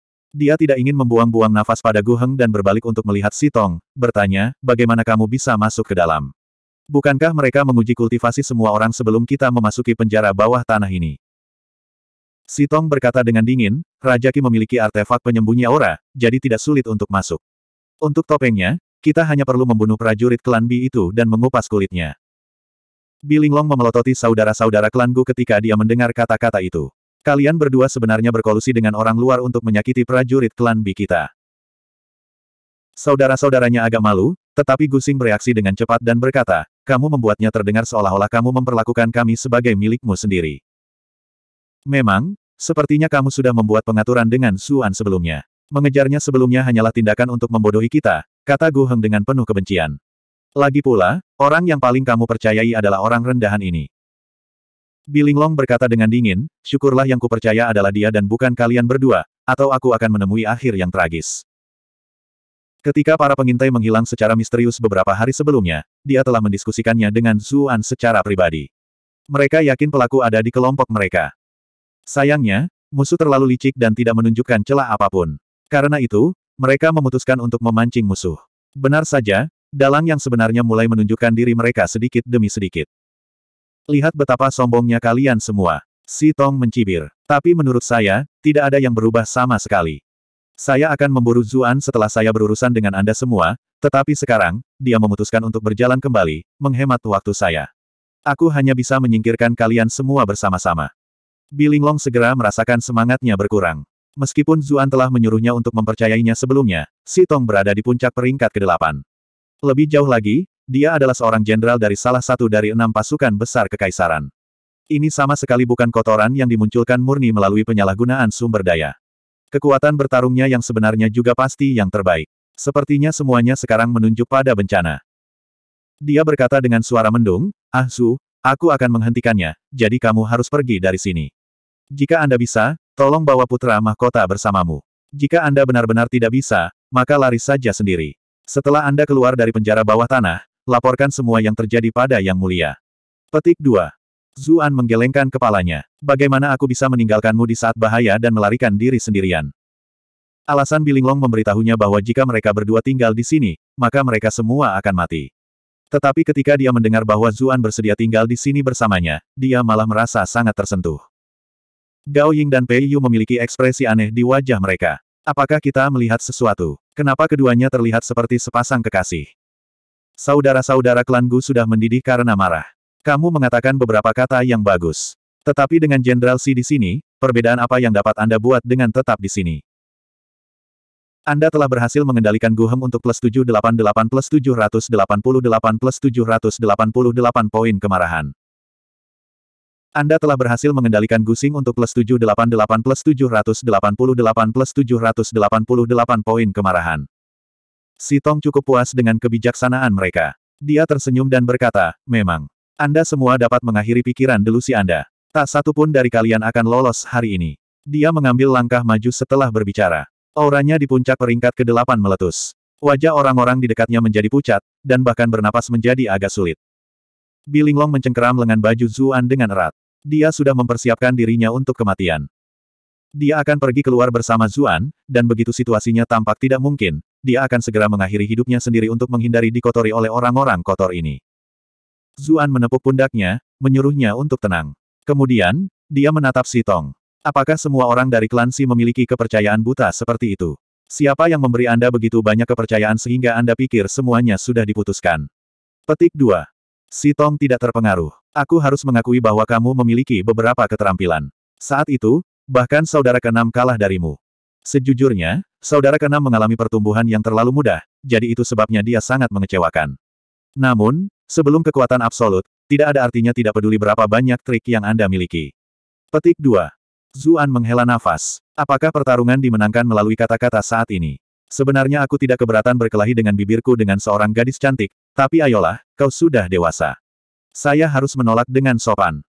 Bilinglong mengejek dalam hati. Situasi seperti apa ini? Namun orang ini masih sangat tidak senonoh. Apakah kamu mencoba mengejekku untuk menemukan celah? Si Tong tetap tidak peduli. Sayangnya, kamu tidak tahu konsep seperti apa peringkat ke-8 itu. Kita bisa meminjam kekuatan langit dan bumi. Semua trik tidak ada artinya. Lakukan langkahmu, atau kamu tidak akan memiliki kesempatan lagi. Dia berdiri di sana dengan tangan di belakang punggungnya. Bersama dengan tekanan yang dilepaskan Sitong, saudara-saudara klan Gu di belakangnya sama-sama yakin akan kekuatannya. Mereka berpikir, betapa menakjubkannya jika kita bisa mencapai level ini suatu hari nanti. Kalau begitu jangan menyesal sesudahnya. Zuan tertawa. Senyumnya sangat mempesona. Si Tong memberinya tatapan samar. Berhentilah berbicara omong kosong dan hargai kesempatan yang kuberikan padamu ini. Zuan sudah pindah setengah jalan melalui kalimat Si Tong, menutup celah hampir seketika. Bagaimana dia begitu cepat? Si Tong merasa kedinginan dan dengan cepat berpikir untuk mengangkat tangannya untuk menghentikan pihak lain. Sayangnya, dia terlambat selangkah. Tinju Zuan sudah menghantam wajahnya. Pada saat itu, daging di wajahnya terasa lembek dan seluruh wajahnya melengkung. Saat tubuhnya terbang di udara, dia berteriak dengan sedih. Garis darah menghiasi langit, serta beberapa gigi yang patah. Zuan menarik kembali tinjunya, menyeka darah di atasnya dengan jijik. Teruslah membual, mari kita lihat apa yang membuatmu. Yang lain tercengang. Apa yang terjadi? Si Tong diledakkan terbang. Mereka mengharapkan Zuan untuk mencoba segala macam trik, sementara Si Tong akan tetap sama sekali tidak terpengaruh. Itu adalah hasil yang paling masuk akal. Bahkan Biling Long, yang paling mempercayai Zuan, terkejut. Meskipun dia tahu bahwa Zuan menyembunyikan kekuatannya yang sebenarnya, dia hanya berharap Zuan memiliki kesempatan untuk melawan Si Tong. Namun, pemandangan yang baru saja dia lihat benar-benar menghancurkan seluruh pandangan dunianya. Saudara-saudara klan Gu sangat terkejut sehingga rahang mereka hampir jatuh ke lantai. Mereka dengan cepat berlari keluar untuk membantu Si Tong, bertanya, Jenderal Si, apa yang akan kamu lakukan sekarang? Nyah. Si Tong melemparkan mereka berdua dengan kesal. Kemudian, dia dengan cepat berdiri kembali dan menatap Zuan. Tapi hidungnya sekarang agak bengkok, dan wajahnya berlumuran darah. Karena kehilangan beberapa gigi, mulutnya juga terlihat agak cekung. Penampilannya saat ini sangat lucu. Kamu berada di peringkat ke-8. Si Tong agak khawatir saat dia melihat Zuan. Jika Zuan berada di bawah peringkat ke-8, maka Zuan tidak akan bisa melakukan apa pun padanya bahkan jika dia berdiri diam. Namun kekuatan yang luar biasa itu hampir menghancurkan otaknya dari kepalanya. Seharusnya tidak mungkin memiliki kekuatan luar biasa seperti itu kecuali seseorang dapat meminjam kekuatan dunia. Adapun Zuan berada di peringkat ke-9, itu adalah sesuatu yang dia benar-benar tidak akan percaya. Zuan masih sangat muda, dan intelijen telah menyatakan bahwa dia hanyalah orang biasa dari jalanan yang tidak memiliki satu atau dua ons kultivasi satu atau dua tahun sebelumnya. Jika dia tidak mengalaminya sendiri, dia tidak akan berani percaya bahwa pihak lain sudah berada di peringkat ke-8, apalagi di peringkat ke-9 yang bahkan tidak bisa dia capai. Zuan terkekeh. Bagaimana menurut Anda? Si Tong mendengus. Apa yang terjadi barusan hanya karena aku ceroboh. Melihat betapa sombongnya Anda, tentu saja, Anda bukan siapa-siapa yang senang dengan pencapaian kecil Anda. Petik 2. Dia tidak khawatir sama sekali, karena itu terutama karena dia ceroboh sebelumnya, dan Zuan bergerak terlalu cepat. Dia mungkin memiliki beberapa jenis keterampilan gerakan khusus. Namun, sebagai ahli peringkat ke-8, dia tahu bahwa jenis keterampilan gerakan ini tidak dapat digunakan tanpa henti. Akan baik-baik saja selama dia lebih berhati-hati. Zuan menghela nafas. Kamu seharusnya mengakui kekalahanmu jika kalah. Hanya yang lemah yang menggunakan segala macam alasan. Sitong meraung marah, kalau begitu aku akan membuatmu mengerti betapa kuatnya aku. Anda telah berhasil mengendalikan Sitong untuk plus 444 plus 444 plus 444. Begitu dia selesai berbicara, dia bergegas ke Zuan seperti peluru artileri. Saudara-saudara klan Gu menghela nafas lega ketika mereka merasakan tekanan kuat serangan itu. Jenderal Si akhirnya menjadi serius. Dia sudah lama berada di puncak peringkat ke-8, dia pasti jauh lebih kuat daripada seseorang seperti Zuan yang baru saja mencapai peringkat ke-8. Meski begitu, mereka merasa bertentangan dalam hati. Bagaimana bisa Zuan yang selama ini mereka pandang rendah berada di peringkat ke-8? Kita perlu membuatnya mengakui rahasia kultivasinya setelah Si Tong menangkapnya. Jika kita juga bisa mencapai peringkat ke-8. Mata mereka berkobar dengan keinginan. Mereka mulai menyemangati Si Tong dari lubuk hati mereka. Tentu saja, jika keduanya bisa saling mengalahkan, itu akan menjadi hasil terbaik. Mereka tidak lupa bagaimana Si Tong ingin mempermainkan Bi Linglong dulu. Mereka sangat menyukainya, jadi tentu saja mereka tidak ingin melihat itu terjadi. Sementara pikiran mereka mengembara, Zuan dan Si Tong telah bertabrakan sekali lagi. Itu adalah gerakan bola balik yang sederhana dengan pukulan dan tendangan. Tidak ada teknik atau trik yang terlibat. Mata Gao Ying dan Pei Yu melebar karena terkejut. Zuan sama sekali tidak dirugikan bahkan ketika dia bertarung melawan Si Tong secara langsung. Mereka berdua akhirnya mengerti bahwa Zuan telah mengalahkan pewaris Raja Qi yang adil dan jujur. Tidak ada ahli misterius sama sekali. Pada awalnya, mereka berdua masih bisa mengikuti gerakan para petarung, tetapi saat pertarungan berlangsung, serangan mereka tumbuh lebih cepat dan lebih cepat, benar-benar melebihi batas pandangan penonton. Mereka hanya bisa samar-samar melihat dua sosok melesat bola balik, serta gelombang ledakan pukulan yang dipertukarkan. Bibir merah cerah Bi Linglong juga terbuka lebar.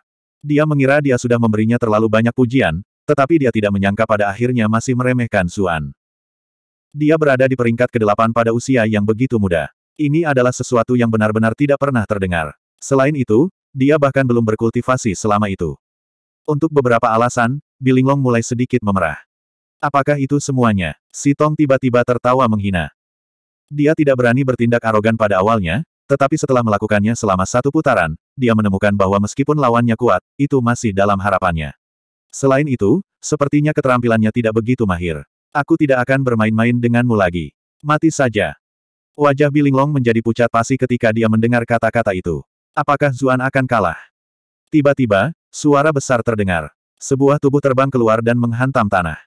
Ah Su, Bilinglong sangat panik. Dia hendak bergegas, tetapi dia membeku setelah mengambil satu langkah. Orang yang jatuh ke tanah bukanlah Zuan, melainkan Si Tong. Apa yang sedang terjadi? Lupakan dia, bahkan saudara-saudara klan Gu yang akan bersorak tercengang. Bahkan Si Tong tidak percaya saat dia berseru, bagaimana ini bisa terjadi.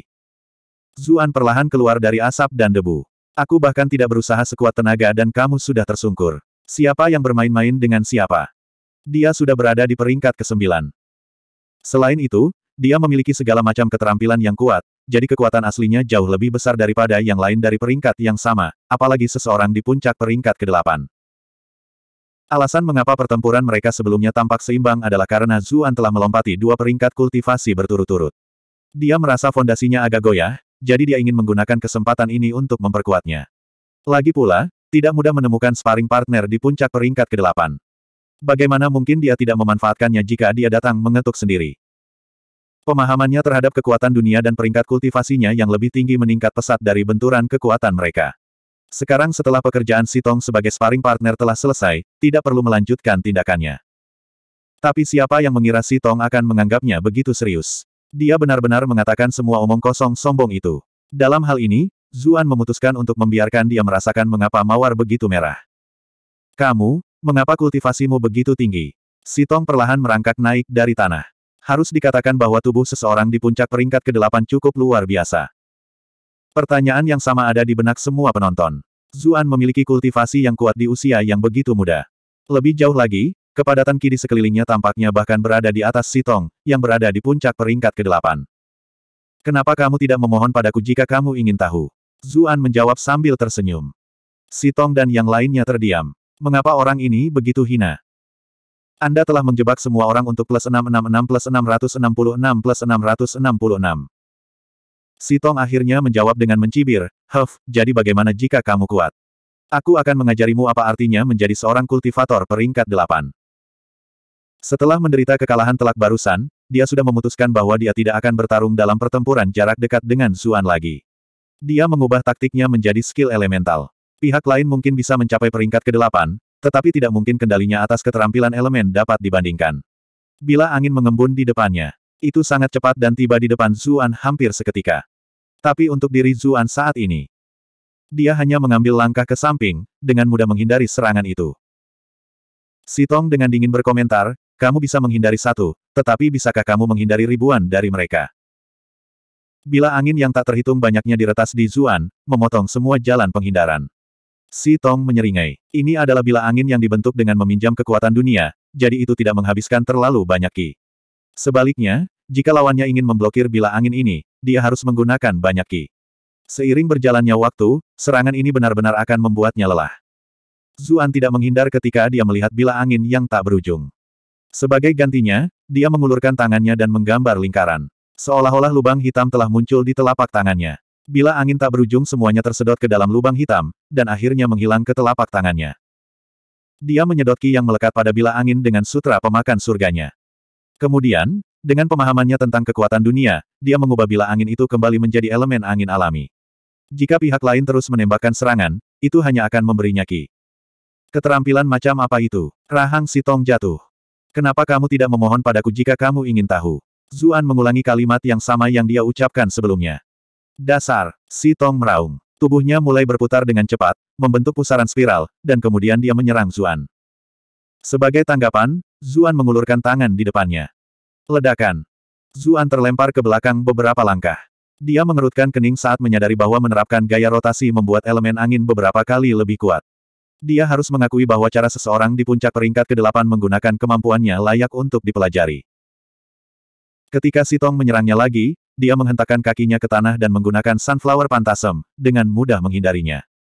Aku ingin melihat berapa lama kamu bisa terus menghindar. Tubuh Sitong berputar dengan cepat, dengan cepat membentuk tornado skala kecil. Angin kencang merobek seluruh tenda menjadi berkeping-keping.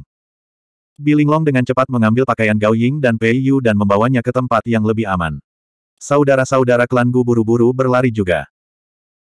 Zuan sebenarnya ingin menggunakan kesempatan ini untuk merasakan sendiri jurus pamungkas lawannya, tetapi ada terlalu banyak orang di kam ini yang tidak sadarkan diri. Jika tornado yang menakutkan benar-benar terbentuk sepenuhnya, banyak dari mereka akan kehilangan nyawa mereka. Dia menghela nafas dan berkata, mari kita akhiri ini. Si Tong mencibir. Apakah semuanya akan berakhir atau tidak, bukan Anda yang memutuskan. Setelah tornado saya terbentuk, tidak ada sehelai rumput pun yang akan tetap berada dalam kisaran selusin Li. Namun, ekspresinya tiba-tiba membeku, karena dia menemukan bahwa dia tampaknya telah kehilangan hubungannya dengan elemen angin. Selanjutnya, dia merasa sangat kedinginan. Mengapa ada kepingan salju? Si Tong tercengang ketika melihat kepingan salju jatuh. Mengapa salju turun di ruang bawah tanah selama musim ini? Tapi ekspresinya berubah pada detik berikutnya. Dia dengan cepat bereaksi, berseru, pedang kepingan salju. Sayangnya, itu sudah terlambat. Tornado skala kecil tampaknya masih membeku karena kedinginan. Ada lapisan es yang menutupi tubuhnya juga. Kemudian, kilatan cahaya dingin berkedip. Dia mendengar retakan, seolah-olah ada sesuatu yang pecah. Kemudian, dia melihat tubuh tanpa kepala berdiri di dekatnya seperti patung. Hah, mengapa pakaian itu terlihat agak familiar? Segera setelah itu, dia menyadari apa yang telah terjadi. Kemudian, kegelapan memenuhi kesadarannya. Pikiran terakhir di benaknya adalah, bagaimana kekuatan pedang kepingan salju bisa begitu besar. Bab 817 Bilinglong juga menyadari apa yang baru saja terjadi. Keterampilan pedang indah yang memenuhi langit dengan kepingan salju adalah seni ekstrim Chu Smith, pedang kepingan salju. Jika Cucuyan bahkan telah mengajarinya keterampilan menjaga klannya, maka jelas bahwa hubungan mereka bukan hanya suami istri nominal seperti yang dipikirkan semua orang. Untuk beberapa alasan, dia hanya merasa tidak enak saat melihat Suan menggunakan keterampilan wanita lain. Namun perasaan itu segera tergantikan dengan keterkejutan, karena dia melihat skill ultimate Si Tong benar-benar membeku. Kemudian, tebasan sedih dan indah berkedip, dan kepala Si Tong jatuh. Pada saat itu, pikirannya sama dengan Si Tong. Bagaimana pedang kepingan salju Cucuyan bisa sekuat ini? Meskipun dia belum pernah menghadapi Cucuyan sebelumnya, dia pernah melihatnya sebelumnya. Dia juga telah mendengar beberapa hal tentang kultivasi wanita lain. Meskipun pedang kepingan salju itu ajaib, seharusnya tidak sekuat ini, kan? Hanya Zuan yang tahu bahwa dia tidak hanya menggunakan pedang kepingan salju, tetapi juga Phoenix salju miliknya. Kedua keterampilan itu saling melengkapi, dan itulah sebabnya kekuatan yang mereka tunjukkan jauh lebih besar daripada yang biasanya bisa digunakan Cucuyan. Namun, Bilinglong dengan cepat menjadi waspada. Dia ingin menghindar ke samping, tetapi seluruh tubuhnya lemas. Titik akupuntur utama di punggungnya disegel. Ini kalian berdua. Ketika dia melihat saudara-saudara klan Gu yang tumbuh bersamanya, Bilinglong tidak pernah merasakan kebencian dan jijik seperti itu dalam hidupnya. Saudara-saudara klan Gu tidak bisa diganggu untuk membalasnya dan malah menatap Suan yang jauh dengan waspada. Suara mereka bahkan sedikit bergetar saat mereka berseru, Su, beku. Mereka sudah ketakutan ketika melihat Si Tong dan Zuan bertarung dengan posisi yang sama, jadi mereka berencana untuk menangkap Biling Long dan menggunakannya sebagai sandera. Mereka tidak mengira Si Tong akan kalah begitu cepat, dan sebenarnya bangga dengan persiapan mereka. Karena keterkejutan Biling Long yang berlebihan, dia tidak bisa menahan diri dari pendekatan mereka. Pada saat mereka bergegas, sudah terlambat. Zuan berbalik dan melihat bahwa Biling Long telah ditangkap oleh pasangan itu. Dia tidak bisa membantu tetapi mengerutkan kening. Kalian berdua benar-benar mendefinisikan dengan sempurna apa artinya menjadi tidak tahu malu dan hina. Aku tidak ingin mendengar omong kosong. Gu Heng merasa sedikit malu.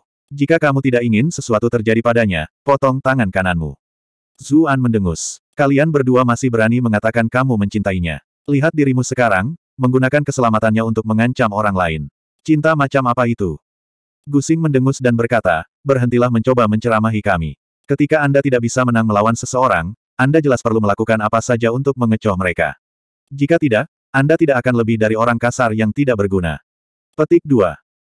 Hina seharusnya tidak mencoba membuat diri mereka terdengar terhormat, kata Bilinglong dengan dingin. Diam, wajah Guheng sepenuhnya merah. Pisau di tangannya menekan lebih erat ke lehernya. Berhenti mengatakan hal-hal yang tidak berguna. Jika Anda tidak memotong tangan kanan Anda, saya akan membunuhnya. Jangan khawatir tentang aku, bunuh saja dua kotoran menjijikkan ini. Bilinglong dengan cepat menjelaskan. Zuan menatap mereka berdua. Kalian berdua tidak akan bisa hidup bahkan jika kamu membunuhnya. Gu Xing tertawa. Bagaimana kita bisa begitu khawatir tentang hal itu pada saat ini? Selanjutnya, memiliki Linglong menemani kita ke kuburan adalah sesuatu yang sudah bisa kita puaskan. Petik 2. Tidak tahu malu. Bilinglong sangat marah sehingga seluruh tubuhnya gemetar. Gu Heng menatap Zuan. Zu, ada batas kesabaran kita. Anda dapat memotong lengan kanan Anda sendiri, atau Anda dapat menyaksikan saat kita bersaudara mengakhiri hidup kita dengan Linglong. Jika Anda memilih yang terakhir, menjalani kehidupan kita ini masih akan sia-sia. Petik 2. Dia tahu betul bahwa sangat mudah bagi Zuan untuk mengakhiri mereka bahkan jika dia memotong salah satu tangannya. Namun, memintanya untuk memotong kedua tangannya tidak terlalu realistis. Itulah mengapa mereka harus melalui metode bundaran ini untuk perlahan menyeretnya turun sedikit demi sedikit. Jika dia memotong salah satu lengannya, mereka akan segera meminta dia untuk memotong lengannya yang lain. Jika dia sudah membayar harga yang sangat mahal, kemungkinan dia setuju akan meningkat. Begitu dia benar-benar memotong kedua tangannya, kedua bersaudara itu akan bertarung atau lari. Merekalah yang akan memiliki keuntungan saat itu. Zuan mengangkat bahu. Dia bahkan bukan istriku, bukankah kamu mengancam orang yang salah dengannya? Saya hanya pekerja paruh waktu di sini untuk mendapatkan sedikit uang. Mengapa saya pergi sejauh ini dengan membuang hidup dan prospek saya demi dia? Gu Heng mencibir. Apakah menurut Anda yang mulia akan membiarkan Anda pergi begitu Anda meninggalkan penjara bawah tanah ini jika sesuatu terjadi padanya? Aku tidak tahu apakah dia akan membiarkanku pergi, tapi dia pasti tidak akan membiarkan klan Gumu pergi. Zuan tampak sama sekali tidak peduli. Ekspresi Gu Heng tenggelam. Dia awalnya berpikir bahwa setelah penjara bawah tanah ini, dia akan bangkit menjadi naga di antara manusia. Dia tidak pernah mengharapkan hal-hal gagal pada langkah terakhir, dan mereka bahkan akhirnya menyeret seluruh klan. Sebaliknya Gusing yang relatif lebih tenang. Apakah kamu benar-benar berpikir kami tidak tahu hubunganmu? Linglong sangat mempercayai Anda, yang berarti Anda jelas bukan hanya bawahan biasa. Aku benar-benar tidak percaya bahwa tidak ada yang terjadi di antara kalian berdua. Dia memandang Bilinglong setelah mengatakan itu, melanjutkan, Linglong, oh Linglong. Anda telah sangat mempercayainya dan menunjukkan kepadanya begitu banyak ketulusan, tetapi apa yang Anda dapatkan pada akhirnya? Demi menyelamatkanmu, lupakan tentang menyerahkan nyawanya, dia bahkan tidak mau menyerahkan tangannya. Gao Ying dan Pei Yu, yang sedang menonton drama ini diputar, membuang muka seolah-olah mereka tidak mendengar apa-apa.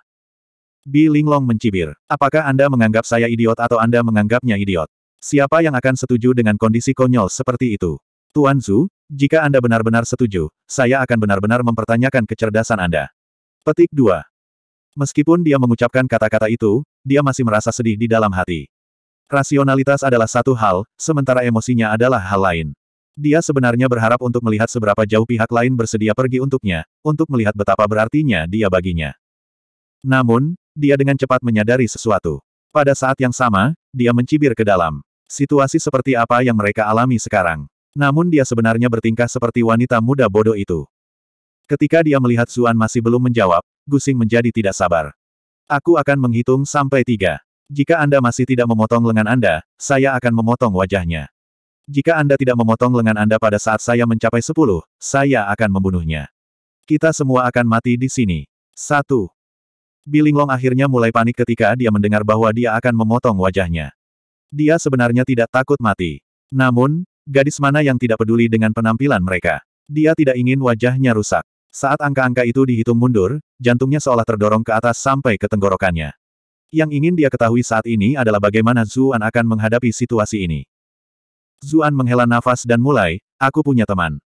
Yang lain bingung. Kenapa kau tiba-tiba membicarakan temanmu?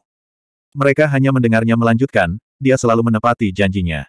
Selama dia menyetujui sesuatu, dia tidak akan menarik kembali kata-katanya.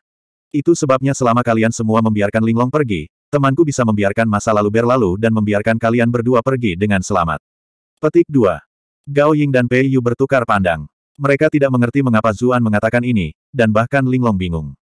Dia berpikir dalam hati, jika kedua orang ini mempercayaimu setelah mendengarkan ini, bukankah mereka terlalu bodoh? Tapi sesuatu yang benar-benar mengejutkan terjadi. Setelah mendengarkan kata-kata itu, saudara-saudara klan Gu melepaskan pedang yang menempel di lehernya dan mulai melangkah mundur. Kamu mengatakannya, kita akan membiarkannya pergi sekarang. Gao Ying, Pei Yu, dan Bi Linglong semuanya terdiam. Zuan bergegas ke sisi Bi Linglong dan melingkarkan lengannya di pinggangnya, melindunginya. Pada saat yang sama, dia mengangkat jarinya. Dua ledakan angin ditembakkan. Bagaimana saudara klan Gu bisa menghindari serangan seseorang di peringkat ke-9? Darah menyembur dari dada mereka saat mereka jatuh ke tanah. Mereka terkejut dan marah, berkata, kamu baru saja berjanji bahwa kamu akan membiarkan kami pergi. Anda telah berhasil mengendalikan Guhem untuk plus 555 plus 555 plus 555. Anda telah berhasil mengendalikan Gusing untuk plus 555 plus 555 plus 555. Zuan menghela nafas. Kalian berdua bukan hanya orang jahat, kalian juga sangat bodoh. Yang saya katakan hanyalah bahwa saya memiliki seorang teman yang menepati janjinya dan akan membiarkan Anda pergi. Kapan saya pernah setuju bahwa saya akan membiarkan kalian berdua pergi? Kamu tercela. Saudara-saudara klan Gu hampir pingsan di tempat. Baru sekarang mereka menyadari bahwa dia sepertinya sedang membicarakan temannya. Mengapa kita tiba-tiba percaya padanya karena suatu alasan? Anda telah berhasil mengendalikan saudara klan Gu untuk plus 888 plus 888 plus 888. Zuan telah menggunakan kemampuan, I have a friend. Itu akan membuat target secara tidak sadar berpikir bahwa teman yang dia bicarakan adalah dirinya sendiri. Bagaimana bisa saudara klan Gu tahu tentang itu? Mereka mudah terpengaruh. Dalam hal menjadi tercela, apakah ada orang yang lebih buruk dari kalian berdua? Anda berkolusi dengan orang luar dan menjual tuanmu, cibir Zuan. Linglong, Aku akan menyerahkan mereka berdua padamu untuk ditangani. Baru sekarang Biling Long menyadari bahwa dia masih dalam pelukannya. Dia dengan cepat mendorongnya menjauh, memerah. Orang ini benar-benar berani memanggilku dengan namaku. Masih ada orang yang menonton. Untuk menyembunyikan rasa malunya, dia mengambil pedangnya dan berjalan ke saudara klan Gu, berkata, kalian berdua sangat bangga pada dirimu sendiri sebelumnya. Anda tidak berharap nasib Anda berubah begitu cepat, kan? Petik 2. Ketika dia merasakan niat membunuh di matanya, Guh merasa seolah-olah jiwanya telah meninggalkan tubuhnya. Dia tertawa dan berkata, Hahaha, kami bersaudara tahu bahwa kami pasti sudah mati, tetapi kalian semua tidak boleh bahagia sepagi ini. Apakah Anda pikir Anda bisa menang? Kami hanya menuju ke akhirat di depan kalian semua. Kita akan segera bertemu lagi. Mereka berdua menggorok leher mereka sendiri begitu Gu Heng selesai berbicara. Alasan mereka begitu tegas adalah karena mereka tahu bahwa mereka pasti akan mati. Karena itu, Daripada disiksa dan diinterogasi, mereka lebih memilih kematian yang lebih mudah. Bab 818 Bi Linglong tercengang. Dia tidak menyangka mereka berdua begitu menentukan. Dia menghela nafas. Bagaimanapun, mereka telah tumbuh bersama. Bahkan jika tidak ada cinta, masih ada beberapa kasih sayang dasar. Ini adalah hasil yang tidak terlihat oleh siapa pun. Namun, dia dengan cepat tersadar dari Linglung dan menatap Zuan. Apa yang mereka maksud dengan kata-kata terakhir mereka? Zuan mulai berpikir sendiri. Gao Ying berkata, itu mungkin hanya kutukan karena dendam. Hanya ada begitu banyak orang yang datang bersama kami kali ini. Si Tong dan yang lainnya telah mengekspos diri mereka sendiri, Raja Ki seharusnya tidak bisa mengirim ahli lain, kan? Kalau tidak, kita semua mungkin akan menggorok leher kita sendiri dan mengakhiri semuanya. Bi Linglong mengangguk. Memang, semua orang yang terlibat dalam perjalanan ini dipilih dengan cermat, dan semuanya telah menjalani pemeriksaan latar belakang yang ketat. Fakta bahwa Sitong bisa masuk sudah merupakan sesuatu yang sangat tidak mungkin, seharusnya tidak mungkin bagi orang lain untuk menyelinap masuk. Lagi pula, sesuatu yang dapat menipu alat pengukur kultivasi tidak mudah ditemukan. Zuan mengangguk dan berkata, saya harap itu seperti yang Anda semua katakan. Apa yang mereka katakan masuk akal. Kaisar dan ahli lainnya dari faksi putra mahkota bukanlah orang bodoh. Bagaimana mungkin mereka meninggalkan celah yang begitu besar untuk dieksploitasi dalam rencana mereka? Gao Ying mengungkapkan senyum langka. Juga, bahkan jika ada masalah, dengan Tuan Zhu di sini, itu akan mudah diselesaikan. Bahkan Si Tong, yang berada di puncak peringkat ke-8, dengan mudah dibunuh oleh Zuan. Gao Ying benar-benar tidak bisa membayangkan bahaya macam apa yang tidak bisa dia tangani. Bilinglong berbagi pemikiran yang sama. Dia memandang Zuan dan berkata, terima kasih. Zuan terkekeh, sekarang kamu tahu bahwa kamu tidak mempercayai orang yang salah, kan? Bi Linglong tersipu. Ini adalah rahasia yang hanya mereka berdua bagikan. Saat itu, dia bertanya apakah dia bisa mempercayainya, dan dia mengatakan bahwa dia bisa. Namun, dia tidak pernah merasa terlalu percaya diri saat itu, dan dia yakin bahwa dia juga bisa merasakannya. Keduanya saling memandang begitu saja. Suasana hati secara bertahap menjadi sedikit aneh. Ahem, Gao Ying terbatuk ringan. Saudara Pei mungkin tidak bisa bertahan lebih lama lagi. Dia sebenarnya ingin mengatakan bahwa dia sendiri mungkin tidak bisa bertahan lebih lama lagi. Anda berdua saling memandang dengan penuh semangat, apakah kami tidak ada lagi untuk kalian berdua? Bilinglong segera tersadar dari linglungnya. Dia bergegas untuk memeriksa Pei Yu, wajahnya merah. Zuan juga mengikutinya. Pei Yu baru saja menderita pukulan Si Tong, dan bahkan dadanya pun ambruk, dia jelas mengalami cedera serius. Fakta bahwa dia bisa bertahan sampai sekarang adalah cerminan dari keinginannya yang kuat. Bilinglong dengan cepat mengeluarkan beberapa pil dan memberikannya kepada Pei Yu. Kulitnya menjadi sedikit lebih baik, tetapi cederanya masih belum menunjukkan tanda-tanda pemulihan. Lukanya terlalu serius, aku takut. Bilinglong tidak bisa menahan diri untuk tidak menjadi sedih. Orang ini dalam keadaan ini karena dia telah mencoba menyelamatkannya, dan dia bahkan meragukan kesetiaannya sebelumnya. Sayangnya, dia belum mencapai peringkat ketujuh. Jika tidak, pembudidaya peringkat ketujuh setidaknya akan mampu bertahan dengan kemampuan regeneratif mereka. Zuan berlutut di samping Pei Yu dan tiba-tiba bertanya, kamu dari klan Pei. Apakah Anda tahu Pei Mianman? Petik 2. Pei Yu tercengang, tapi dia dengan lemah menjawab, aku. Dia adalah sepupuku yang lebih muda. Ketika kami masih kecil, aku bahkan mengajarinya beberapa keterampilan. Dia tidak tahu mengapa Zuan tiba-tiba menanyakan itu padanya. Jika bukan karena pihak lain secara heroik mengalahkan Si Tong, dia bahkan tidak akan repot-repot menjawab pertanyaan aneh ini saat dia terbaring sekarat. Zuan mengangguk. Dia kemudian mengeluarkan pil dari saku dalamnya dan berkata, cobalah pil ini. Bilinglong tidak bisa menahan diri untuk tidak berkata, saya sudah memberinya obat terbaik rumah sakit kekaisaran. Implikasinya jelas. Sebagai putri mahkota, dia jelas memiliki obat terbaik keluarga kerajaan. Jika bahkan obatnya tidak akan bekerja, kemungkinan obat orang lain akan melakukan apa pun semakin kecil. Zuan terkekeh dan berkata, coba saja. Dia memberi makan Pei Yupil, dan kemudian memasukkan kinya ke tubuh pihak lain untuk membantunya menyerap efek obat, dan juga untuk mengobati organ dalam, tulang, dan bagian lain yang terluka. Pei Yu mengedarkan sisa ki di tubuhnya bersama Zuan. Beberapa saat kemudian, matanya melebar karena terkejut. Saya pikir itu berhasil. Tuan Zu, bukankah obatmu terlalu luar biasa? Bi Linglong terkejut. Dia dengan cepat memeriksa denyut nadi Pei Yu dan merasakan bahwa luka-lukanya telah benar-benar stabil. Selanjutnya, Dilihat dari kecepatan pemulihannya, selama perawatan ini berlanjut, nyawanya bisa dibilang terjamin. Bagus itu berhasil. Zuan menghela nafas lega. Ini adalah pil pengembalian jiwa yang dia dapatkan dari Ji Dengtu saat itu. Itu dikenal mampu menghidupkan kembali orang mati. Dia telah mencobanya sendiri beberapa kali. Dia merasa itu adalah yang kedua setelah Fight in Brother Spring yang bisa dia dapatkan dari sistem keyboard. Dia telah mendapatkan 12 pil ajaib ini dari Ji Dengtu saat itu. Dia hanya punya enam yang tersisa sekarang, jadi dia jelas tidak bisa menggunakannya secara acak. Itulah mengapa dia bertanya tentang hubungan Pei Yu dengan Pei Mianman. Jika keduanya memiliki hubungan yang buruk, maka dia hanya bisa meminta maaf. Dia sebenarnya memiliki satu lagi fight in Brother Spring. Selama pasien memiliki satu nafas tersisa di dalamnya, itu bisa membawa mereka kembali tidak peduli seberapa parah luka mereka. Namun, dia tidak mau menggunakannya pada seseorang yang tidak banyak berteman dengannya. Kemudian, dia tiba di sisi Gao. Secara komparatif, lukanya sedikit lebih ringan. Karena itu, Zuan mengeluarkan beberapa obat yang telah diberikan Chu Yuzhao kepadanya sebelumnya dan meminta Gao Ying meminumnya. Terima kasih. Gao Ying dengan cepat duduk untuk bermeditasi. Auranya berangsur-angsur stabil juga. Biling Long tiba di depan Zuan. Dia menatapnya dengan penasaran dan bertanya, dari mana kamu mendapatkan obatmu? Tampaknya lebih baik daripada rumah sakit kekaisaran. Petik 2. Dari seorang dokter setengah baya mesum. Zuan sebenarnya cukup terkejut juga. Dia mengira Ji Deng Tu hanyalah seorang tabib surgawi di kota Bright Moon. Dia tidak menyangka orang itu lebih baik daripada bahkan dokter istana kekaisaran. Itu berarti latar belakangnya layak untuk direnungkan.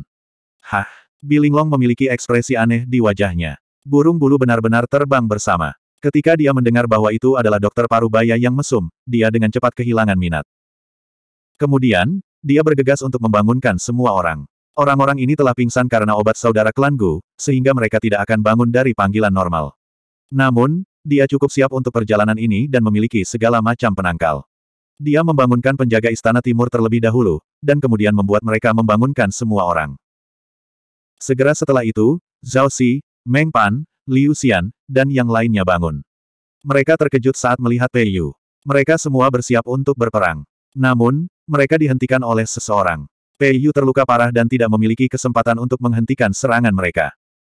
Zuan, mereka menjadi lebih terkejut ketika mereka melihat siapa itu. Bilinglong segera muncul dan menghentikan serangan kelompok itu. Dia memberi mereka cerita tentang semua yang telah terjadi. Aku baru saja mengatakan bahwa saudara-saudara klan Gu bermata licik. Aku tahu mereka tidak baik, gumam Zhao Xi. Meng Pan mencibir. Kapan kamu pernah mengatakan itu? Apakah Anda lupa bahwa Anda meragukan Tuan Su? Zhao Xi menjadi kesal. Bukankah kamu pemimpin dalam mengusir Sirsu? Melihat keduanya akan bertarung, Biling Long mendengus. Apakah kalian berdua tidak melihat situasi seperti apa yang kita hadapi sekarang? Meskipun begitu, Anda masih mencoba untuk memulai perselisihan internal. Jika Sirsu tidak segera tiba, kita semua akan dibunuh oleh saudara klan Gu dan Sitong.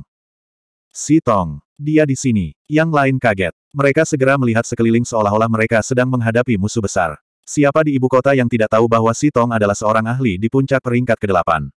Itu bukan seseorang yang bisa mereka hadapi. Piao Duandiao membawa mayat Sitong dan bertanya, Putri Mahkota, apa yang kita lakukan dengan mayat Sitong? Lemparkan ke hutan belantara untuk memberi makan anjing-anjing liar, kata Bilinglong dengan dingin. Jelas bahwa apa yang terjadi membuatnya merasa sangat jijik. Yang lain ketakutan ketika mereka melihat mayat Sitong. Mereka bertanya dengan suara gemetar, siapa yang membunuh Sitong? Bilinglong menatap Zuan. Ekspresinya sangat lembut. Cedera Gao Ying telah meningkat pesat. Dia membuka matanya dan berkata, Tuan Su, tentu saja.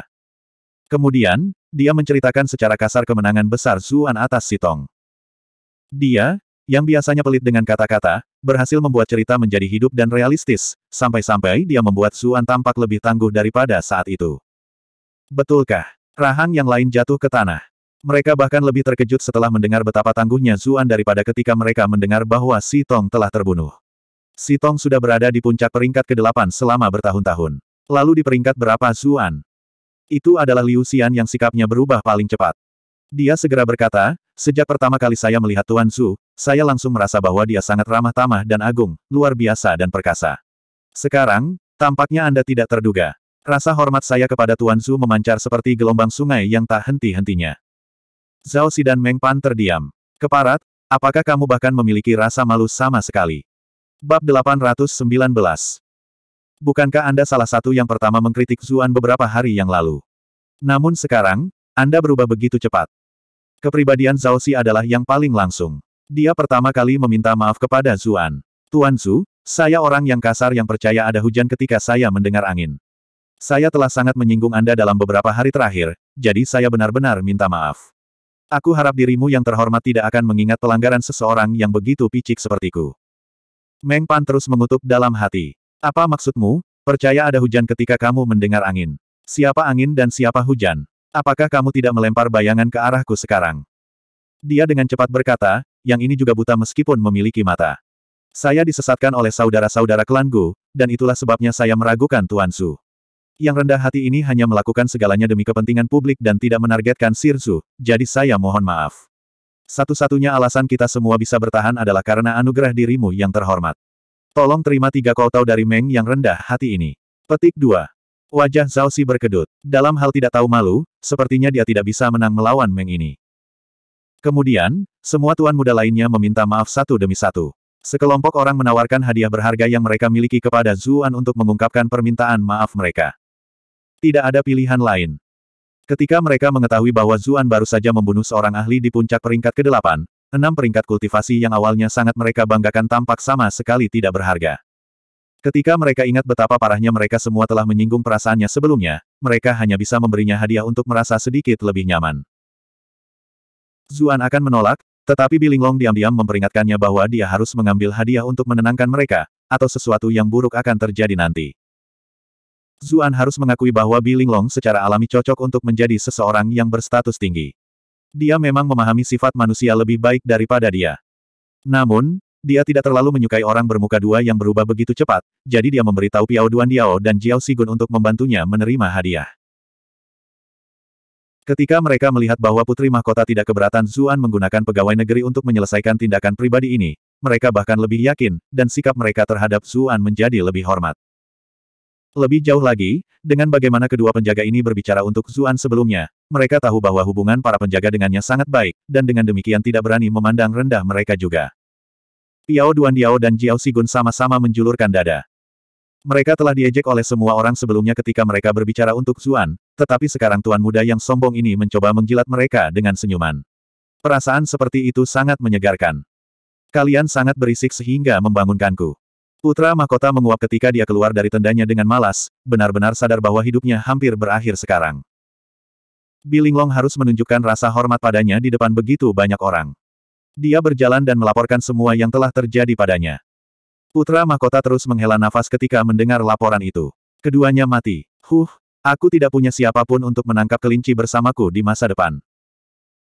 Demi lebih dekat dengan Bilinglong, kedua bersaudara itu telah menghabiskan cukup banyak waktu untuk memanjakan putra mahkota. Mereka telah melakukan segala macam hal menyenangkan dengannya. Kapan putra mahkota, yang biasanya dikurung di istana, pernah melihat hal-hal baru dan menarik ini. Dia dengan cepat berteman dengan mereka. Itu juga salah satu alasan mengapa Biling Long tidak mencurigai saudara-saudara klan Gu sebelumnya. Jika mereka benar-benar memiliki pikiran pengkhianat, mengapa mereka begitu memaksakan diri untuk melayani putra mahkota? Semua tuan muda klan merasa sangat bertentangan ketika mereka mendengar apa yang dikatakan putra mahkota. Putra mahkota yang berpikiran sederhana seperti ini benar-benar. Sayangnya, nasib mereka sudah terikat bersama. Mereka hanya bisa menguatkan diri dan berjalan di jalan ini sampai ke ujungnya. Setelah istirahat semalaman, kondisi Gao Ying dan Pei Yu berangsur-angsur membaik. Keesokan harinya, kelompok mereka melanjutkan perjalanan mereka ke gunung.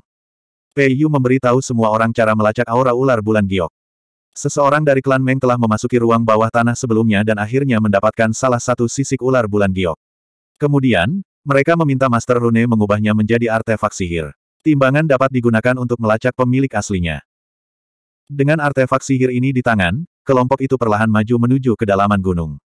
Ada banyak sarang binatang buas yang berbahaya di sepanjang jalan, tetapi karena peringatan Zuan, mereka hampir menghindari semuanya. Tidak ada yang menyuarakan keberatan kali ini. Sebaliknya, mereka semua memujinya dengan cara yang ngeri. Zuan menghela nafas.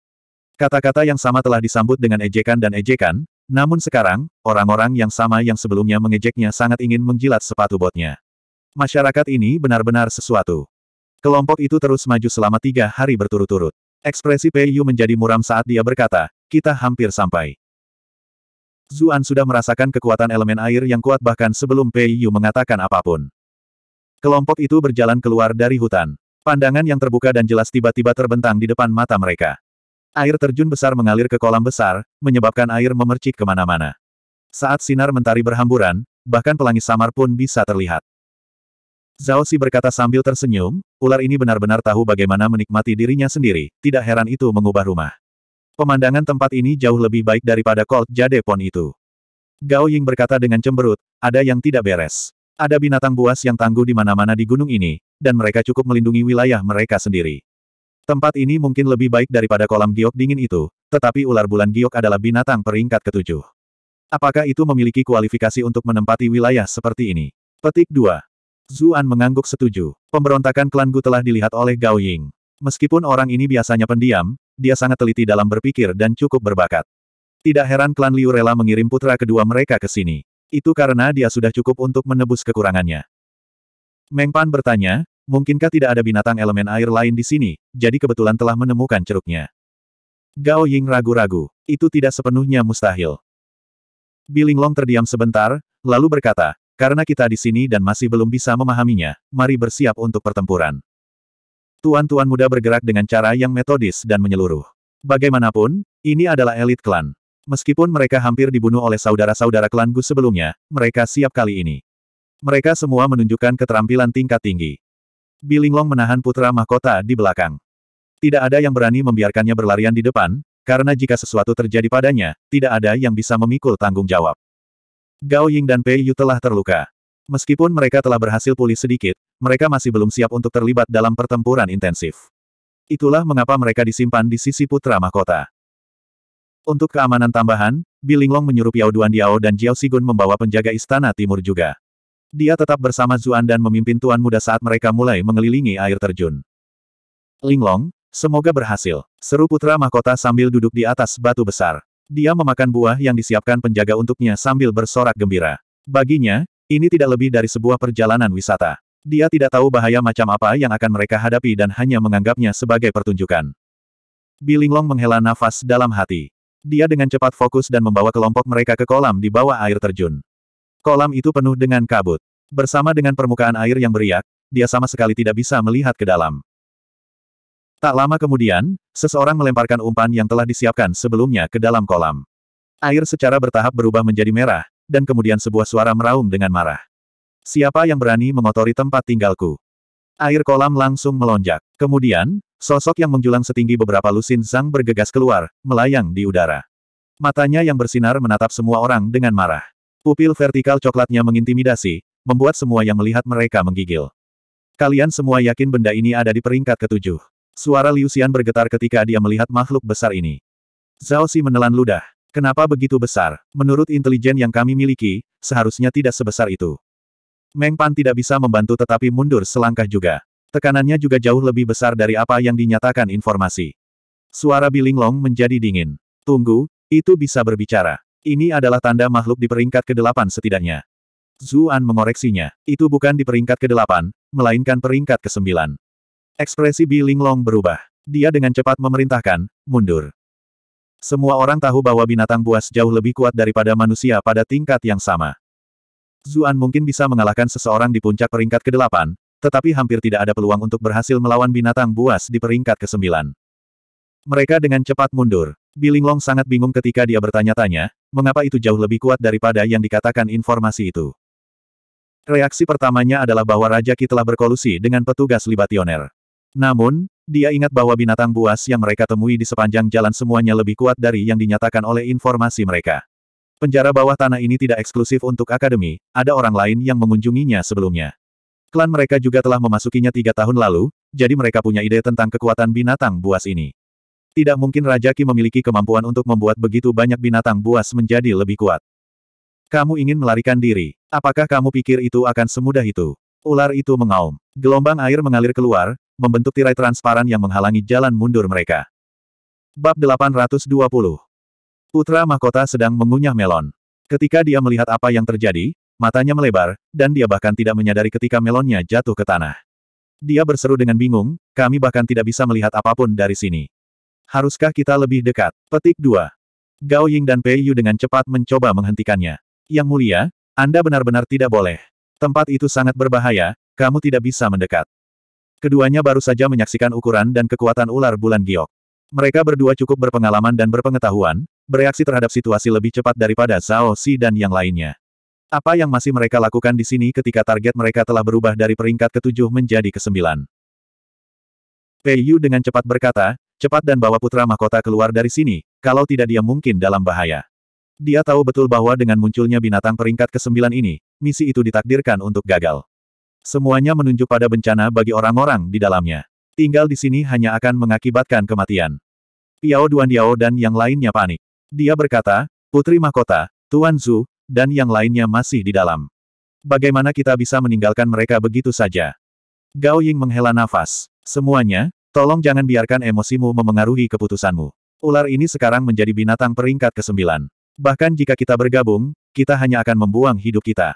Prioritas utama saat ini adalah memastikan keselamatan putra mahkota. Begitu kita meninggalkan penjara bawah tanah dan melaporkan situasi di dalam, itu mungkin tidak dihitung sebagai kegagalan putra mahkota. Jika mereka bisa bertahan cukup lama, kita bisa meminta orang-orang di luar untuk mengirimi kita beberapa bala bantuan. Jiao Sigun berkata dengan sedih, Tuan Zu bahkan menyelamatkan nyawamu, dan putri mahkota telah memperlakukan kedua klanmu dengan sangat baik. Bukankah tindakanmu di sini agak terlalu dingin? Wajah Gao Ying memerah. Apakah kamu pikir kami ingin menjadi begitu lemah dan tidak berguna? Putra kesayangan pamanku Liu Xian masih di dalam. Aku bahkan belum berhasil melindunginya, jadi tidak akan ada akhir yang baik menungguku kembali di klan Liu. Namun, saya tahu betul bahwa menuju ke sana hanya akan membuang hidup saya. Jika kita meminta bala bantuan, mungkin ada peluang untuk bertahan hidup. Petik 2. Terlepas dari kata-kata itu, dia tahu betapa tangguhnya binatang peringkat sembilan itu. Tidak peduli seberapa tangguh Zuan, dia hanya akan bisa bertahan dengan orang lain selama satu atau dua hari. Tetapi mereka membutuhkan lebih dari seminggu untuk sampai ke sini dari pintu masuk penjara bawah tanah. Tidak mungkin mereka akan bertahan sampai bala bantuan tiba. Meski begitu, dia adalah orang yang rasional. Dia tahu apa pilihan paling masuk akal yang bisa dia buat dalam situasi seperti ini. Piao Duandiao dan Jiao Sigun hanya bisa menatap putra mahkota dengan memohon. Haruskah kita menyelamatkan putri mahkota? Yang mulia putra mahkota, tolong beri kami instruksi. Petik 2. Mereka memainkan trik dan tidak mengatakan mereka akan menyelamatkan Zuan, melainkan menggunakan gelar Bilinglong.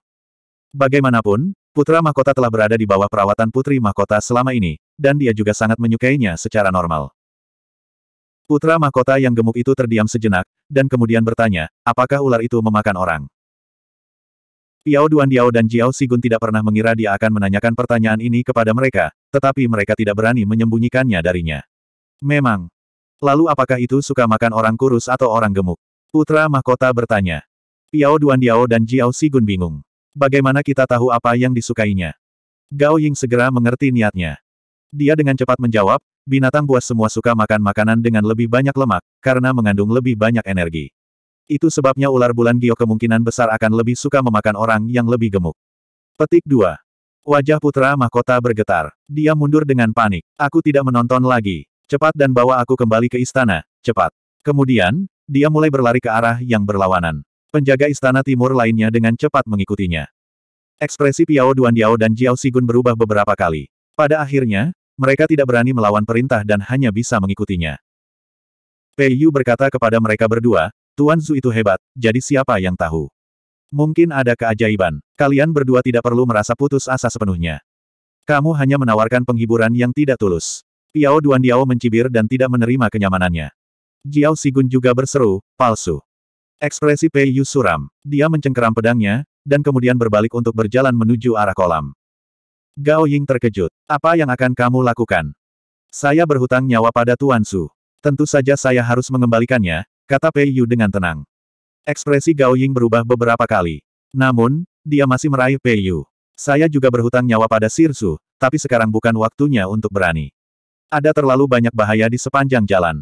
Mereka sendiri belum tentu bisa memastikan keselamatan putra mahkota. Itu sebabnya kami memiliki tanggung jawab untuk mengawal putra mahkota kembali dengan aman. Ketika dia melihat bahwa Pei Yu masih sama sekali tidak yakin, dia hanya bisa menambahkan, jika sesuatu terjadi pada putra mahkota, klan kita akan dihancurkan. Jika sesuatu terjadi pada putra mahkota, Raja Ki akan naik tahta. Mudah untuk membayangkan konsekuensi apa yang akan terjadi pada klan yang mendukung putra mahkota. Ekspresi Pei Yu akhirnya berubah. Dia bisa menyerahkan hidupnya untuk Zuan, tapi dia tidak bisa bertaruh dengan seluruh nyawa klannya. Dia memberi pandangan ke kolam, dan kemudian dia berbalik untuk melindungi putra mahkota. Sementara itu, di tepi kolam, mereka yang hadir melarikan diri dengan panik. Namun, meskipun penghalang air tampak rapuh, ketika Zhao Xi, yang berlari paling cepat, menabraknya, dia langsung terpental. Aduh! Zhao Xi berteriak ketakutan. Kidan darahnya ada di mana-mana karena benturan, dan dia hampir memuntahkan seteguk darah. Dia tidak yakin dan memusatkan semua ki di tubuhnya ke dalam senjatanya, membawanya meretas penghalang. Sayangnya, kekuatannya tampak tenggelam ke dalam lapisan kapas. Sebuah kekuatan aneh menetralisir serangannya. Yang lain juga mulai menyerang penghalang juga. Sayangnya, cahaya berkedip di permukaannya, dan serangan mereka benar-benar diabaikan. Kita sudah selesai. Wajah Meng Pan bahkan lebih pucat dari biasanya saat dia berteriak putus asa. Terperangkap di sini oleh binatang buas peringkat ke-9 berarti tidak ada harapan satupun dari mereka yang selamat dari tempat ini. Dia bukan satu-satunya yang tersisa dalam keputusasaan. Wajah yang lain pucat karena ketakutan. Mereka masih bersemangat sedetik sebelumnya, namun sekarang, mereka semua telah berubah dari pemburu menjadi mangsa. Hahaha, manusia yang lemah dan pengecut, kalian semua suka menggertak yang lemah dan takut pada yang kuat. Saya sangat menikmati menonton penampilan memalukan Anda. Ular bulan giok di langit tidak terburu-buru untuk menyerang dan malah menatap mereka semua dengan ekspresi ejekan. Semakin ketakutan mereka, semakin ia menikmati dirinya sendiri. Zuan tertawa mengejek. Apakah ular bulan giok ini pernah diganggu oleh manusia sebelumnya atau semacamnya? Kalau tidak, mengapa itu membawa kebencian yang begitu kuat terhadap mereka? Itu tampak semakin mungkin. Bagaimanapun, penjara bawah tanah ini adalah milik akademi, dan siswa sering dikirim untuk pelatihan. Jika ular bulan giok berada di peringkat ketujuh, itu adalah level yang tidak terlalu tinggi atau terlalu rendah. Itu sempurna bagi banyak orang untuk berlatih bersama. Itu adalah makhluk pertama yang disarankan ketika isi ujian putra mahkota didiskusikan. Ini jelas karena mereka paling akrab dengannya. Mereka tahu itu bukan target yang terlalu berbahaya untuk misi ini. Cek cek cek, sepertinya dia benar-benar tersiksa selama bertahun-tahun di penjara bawah tanah ini. Jika keluarga kerajaan mengklaim bahwa binatang ini berada di peringkat ketujuh, seharusnya tidak ada kesalahan. Mengapa ranah kultivasinya meningkat begitu banyak dalam waktu sesingkat itu? Bilinglong berseru keras, semuanya, jangan panik. Kami telah membuat banyak persiapan untuk misi ini. Karena semuanya sudah berubah seperti ini, maka bersiaplah untuk pertempuran. Mungkin masih ada peluang untuk menang. Zuan merasakan kekaguman dalam hati. Ada begitu banyak pria di sini, namun yang tetap paling tenang adalah wanita ini. Zhao Sidan yang lainnya menggerutu. Mereka telah mempersiapkan banyak hal untuk misi ini, tetapi mereka telah mempersiapkan ular bulan giok peringkat ketujuh, bukan peringkat kesembilan di depan mereka. Namun, mereka adalah elit yang dipilih dari berbagai klan terkemuka. Mereka tahu bahwa dalam situasi seperti itu, mereka hanya bisa mempertaruhkan semuanya.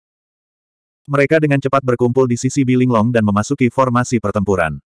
Kemudian mereka menembakkan banyak panah-panah ke ular di langit. Ini bukan baut panah biasa, melainkan baut penembus armor yang diperkuat melalui formasi. Mereka cukup untuk menembus pertahanan binatang peringkat ketujuh. Sayangnya, ini sekarang adalah binatang peringkat kesembilan yang mereka hadapi. Ketika mereka melakukan kontak dengan tubuhnya, baut panah hanya mengeluarkan suara berdenting, hanya meninggalkan tanda putih samar paling banyak. Mereka tidak bisa melukainya sama sekali. Namun, ular bulan giok marah. Kamu semut berani menyinggung raja ini. Itu meraung dengan marah, meluncurkan empat bola air dari mulutnya. Bola air yang berkedip-kedip menabrak tanah. Kemudian, kelompok itu melihat bahwa setiap bola tampaknya memiliki binatang buas yang terbungkus di dalamnya. Namun, ekspresi binatang ini dipenuhi dengan rasa sakit dan dendam. Sapi perang emas, beruang es raksasa, babi hitam bulu keras, harimau pemakan petir. Ekspresi Bi Linglong berubah. Mereka semua adalah binatang peringkat tujuh yang dimakan di masa lalu, dan sekarang, jiwa mereka telah dimurnikan menjadi boneka airnya sendiri. Boneka-boneka ini mempertahankan sebagian besar kekuatan mereka sejak mereka masih hidup. Semuanya, hati-hati. Dia telah belajar banyak tentang karakteristik ular bulan giok tepatnya untuk misi ini. Dia awalnya mengharapkannya untuk menggunakan beberapa boneka peringkat ke-6, tetapi sekarang, mereka semua sebenarnya berada di peringkat ke-7. Kesulitannya secara eksponensial lebih sulit.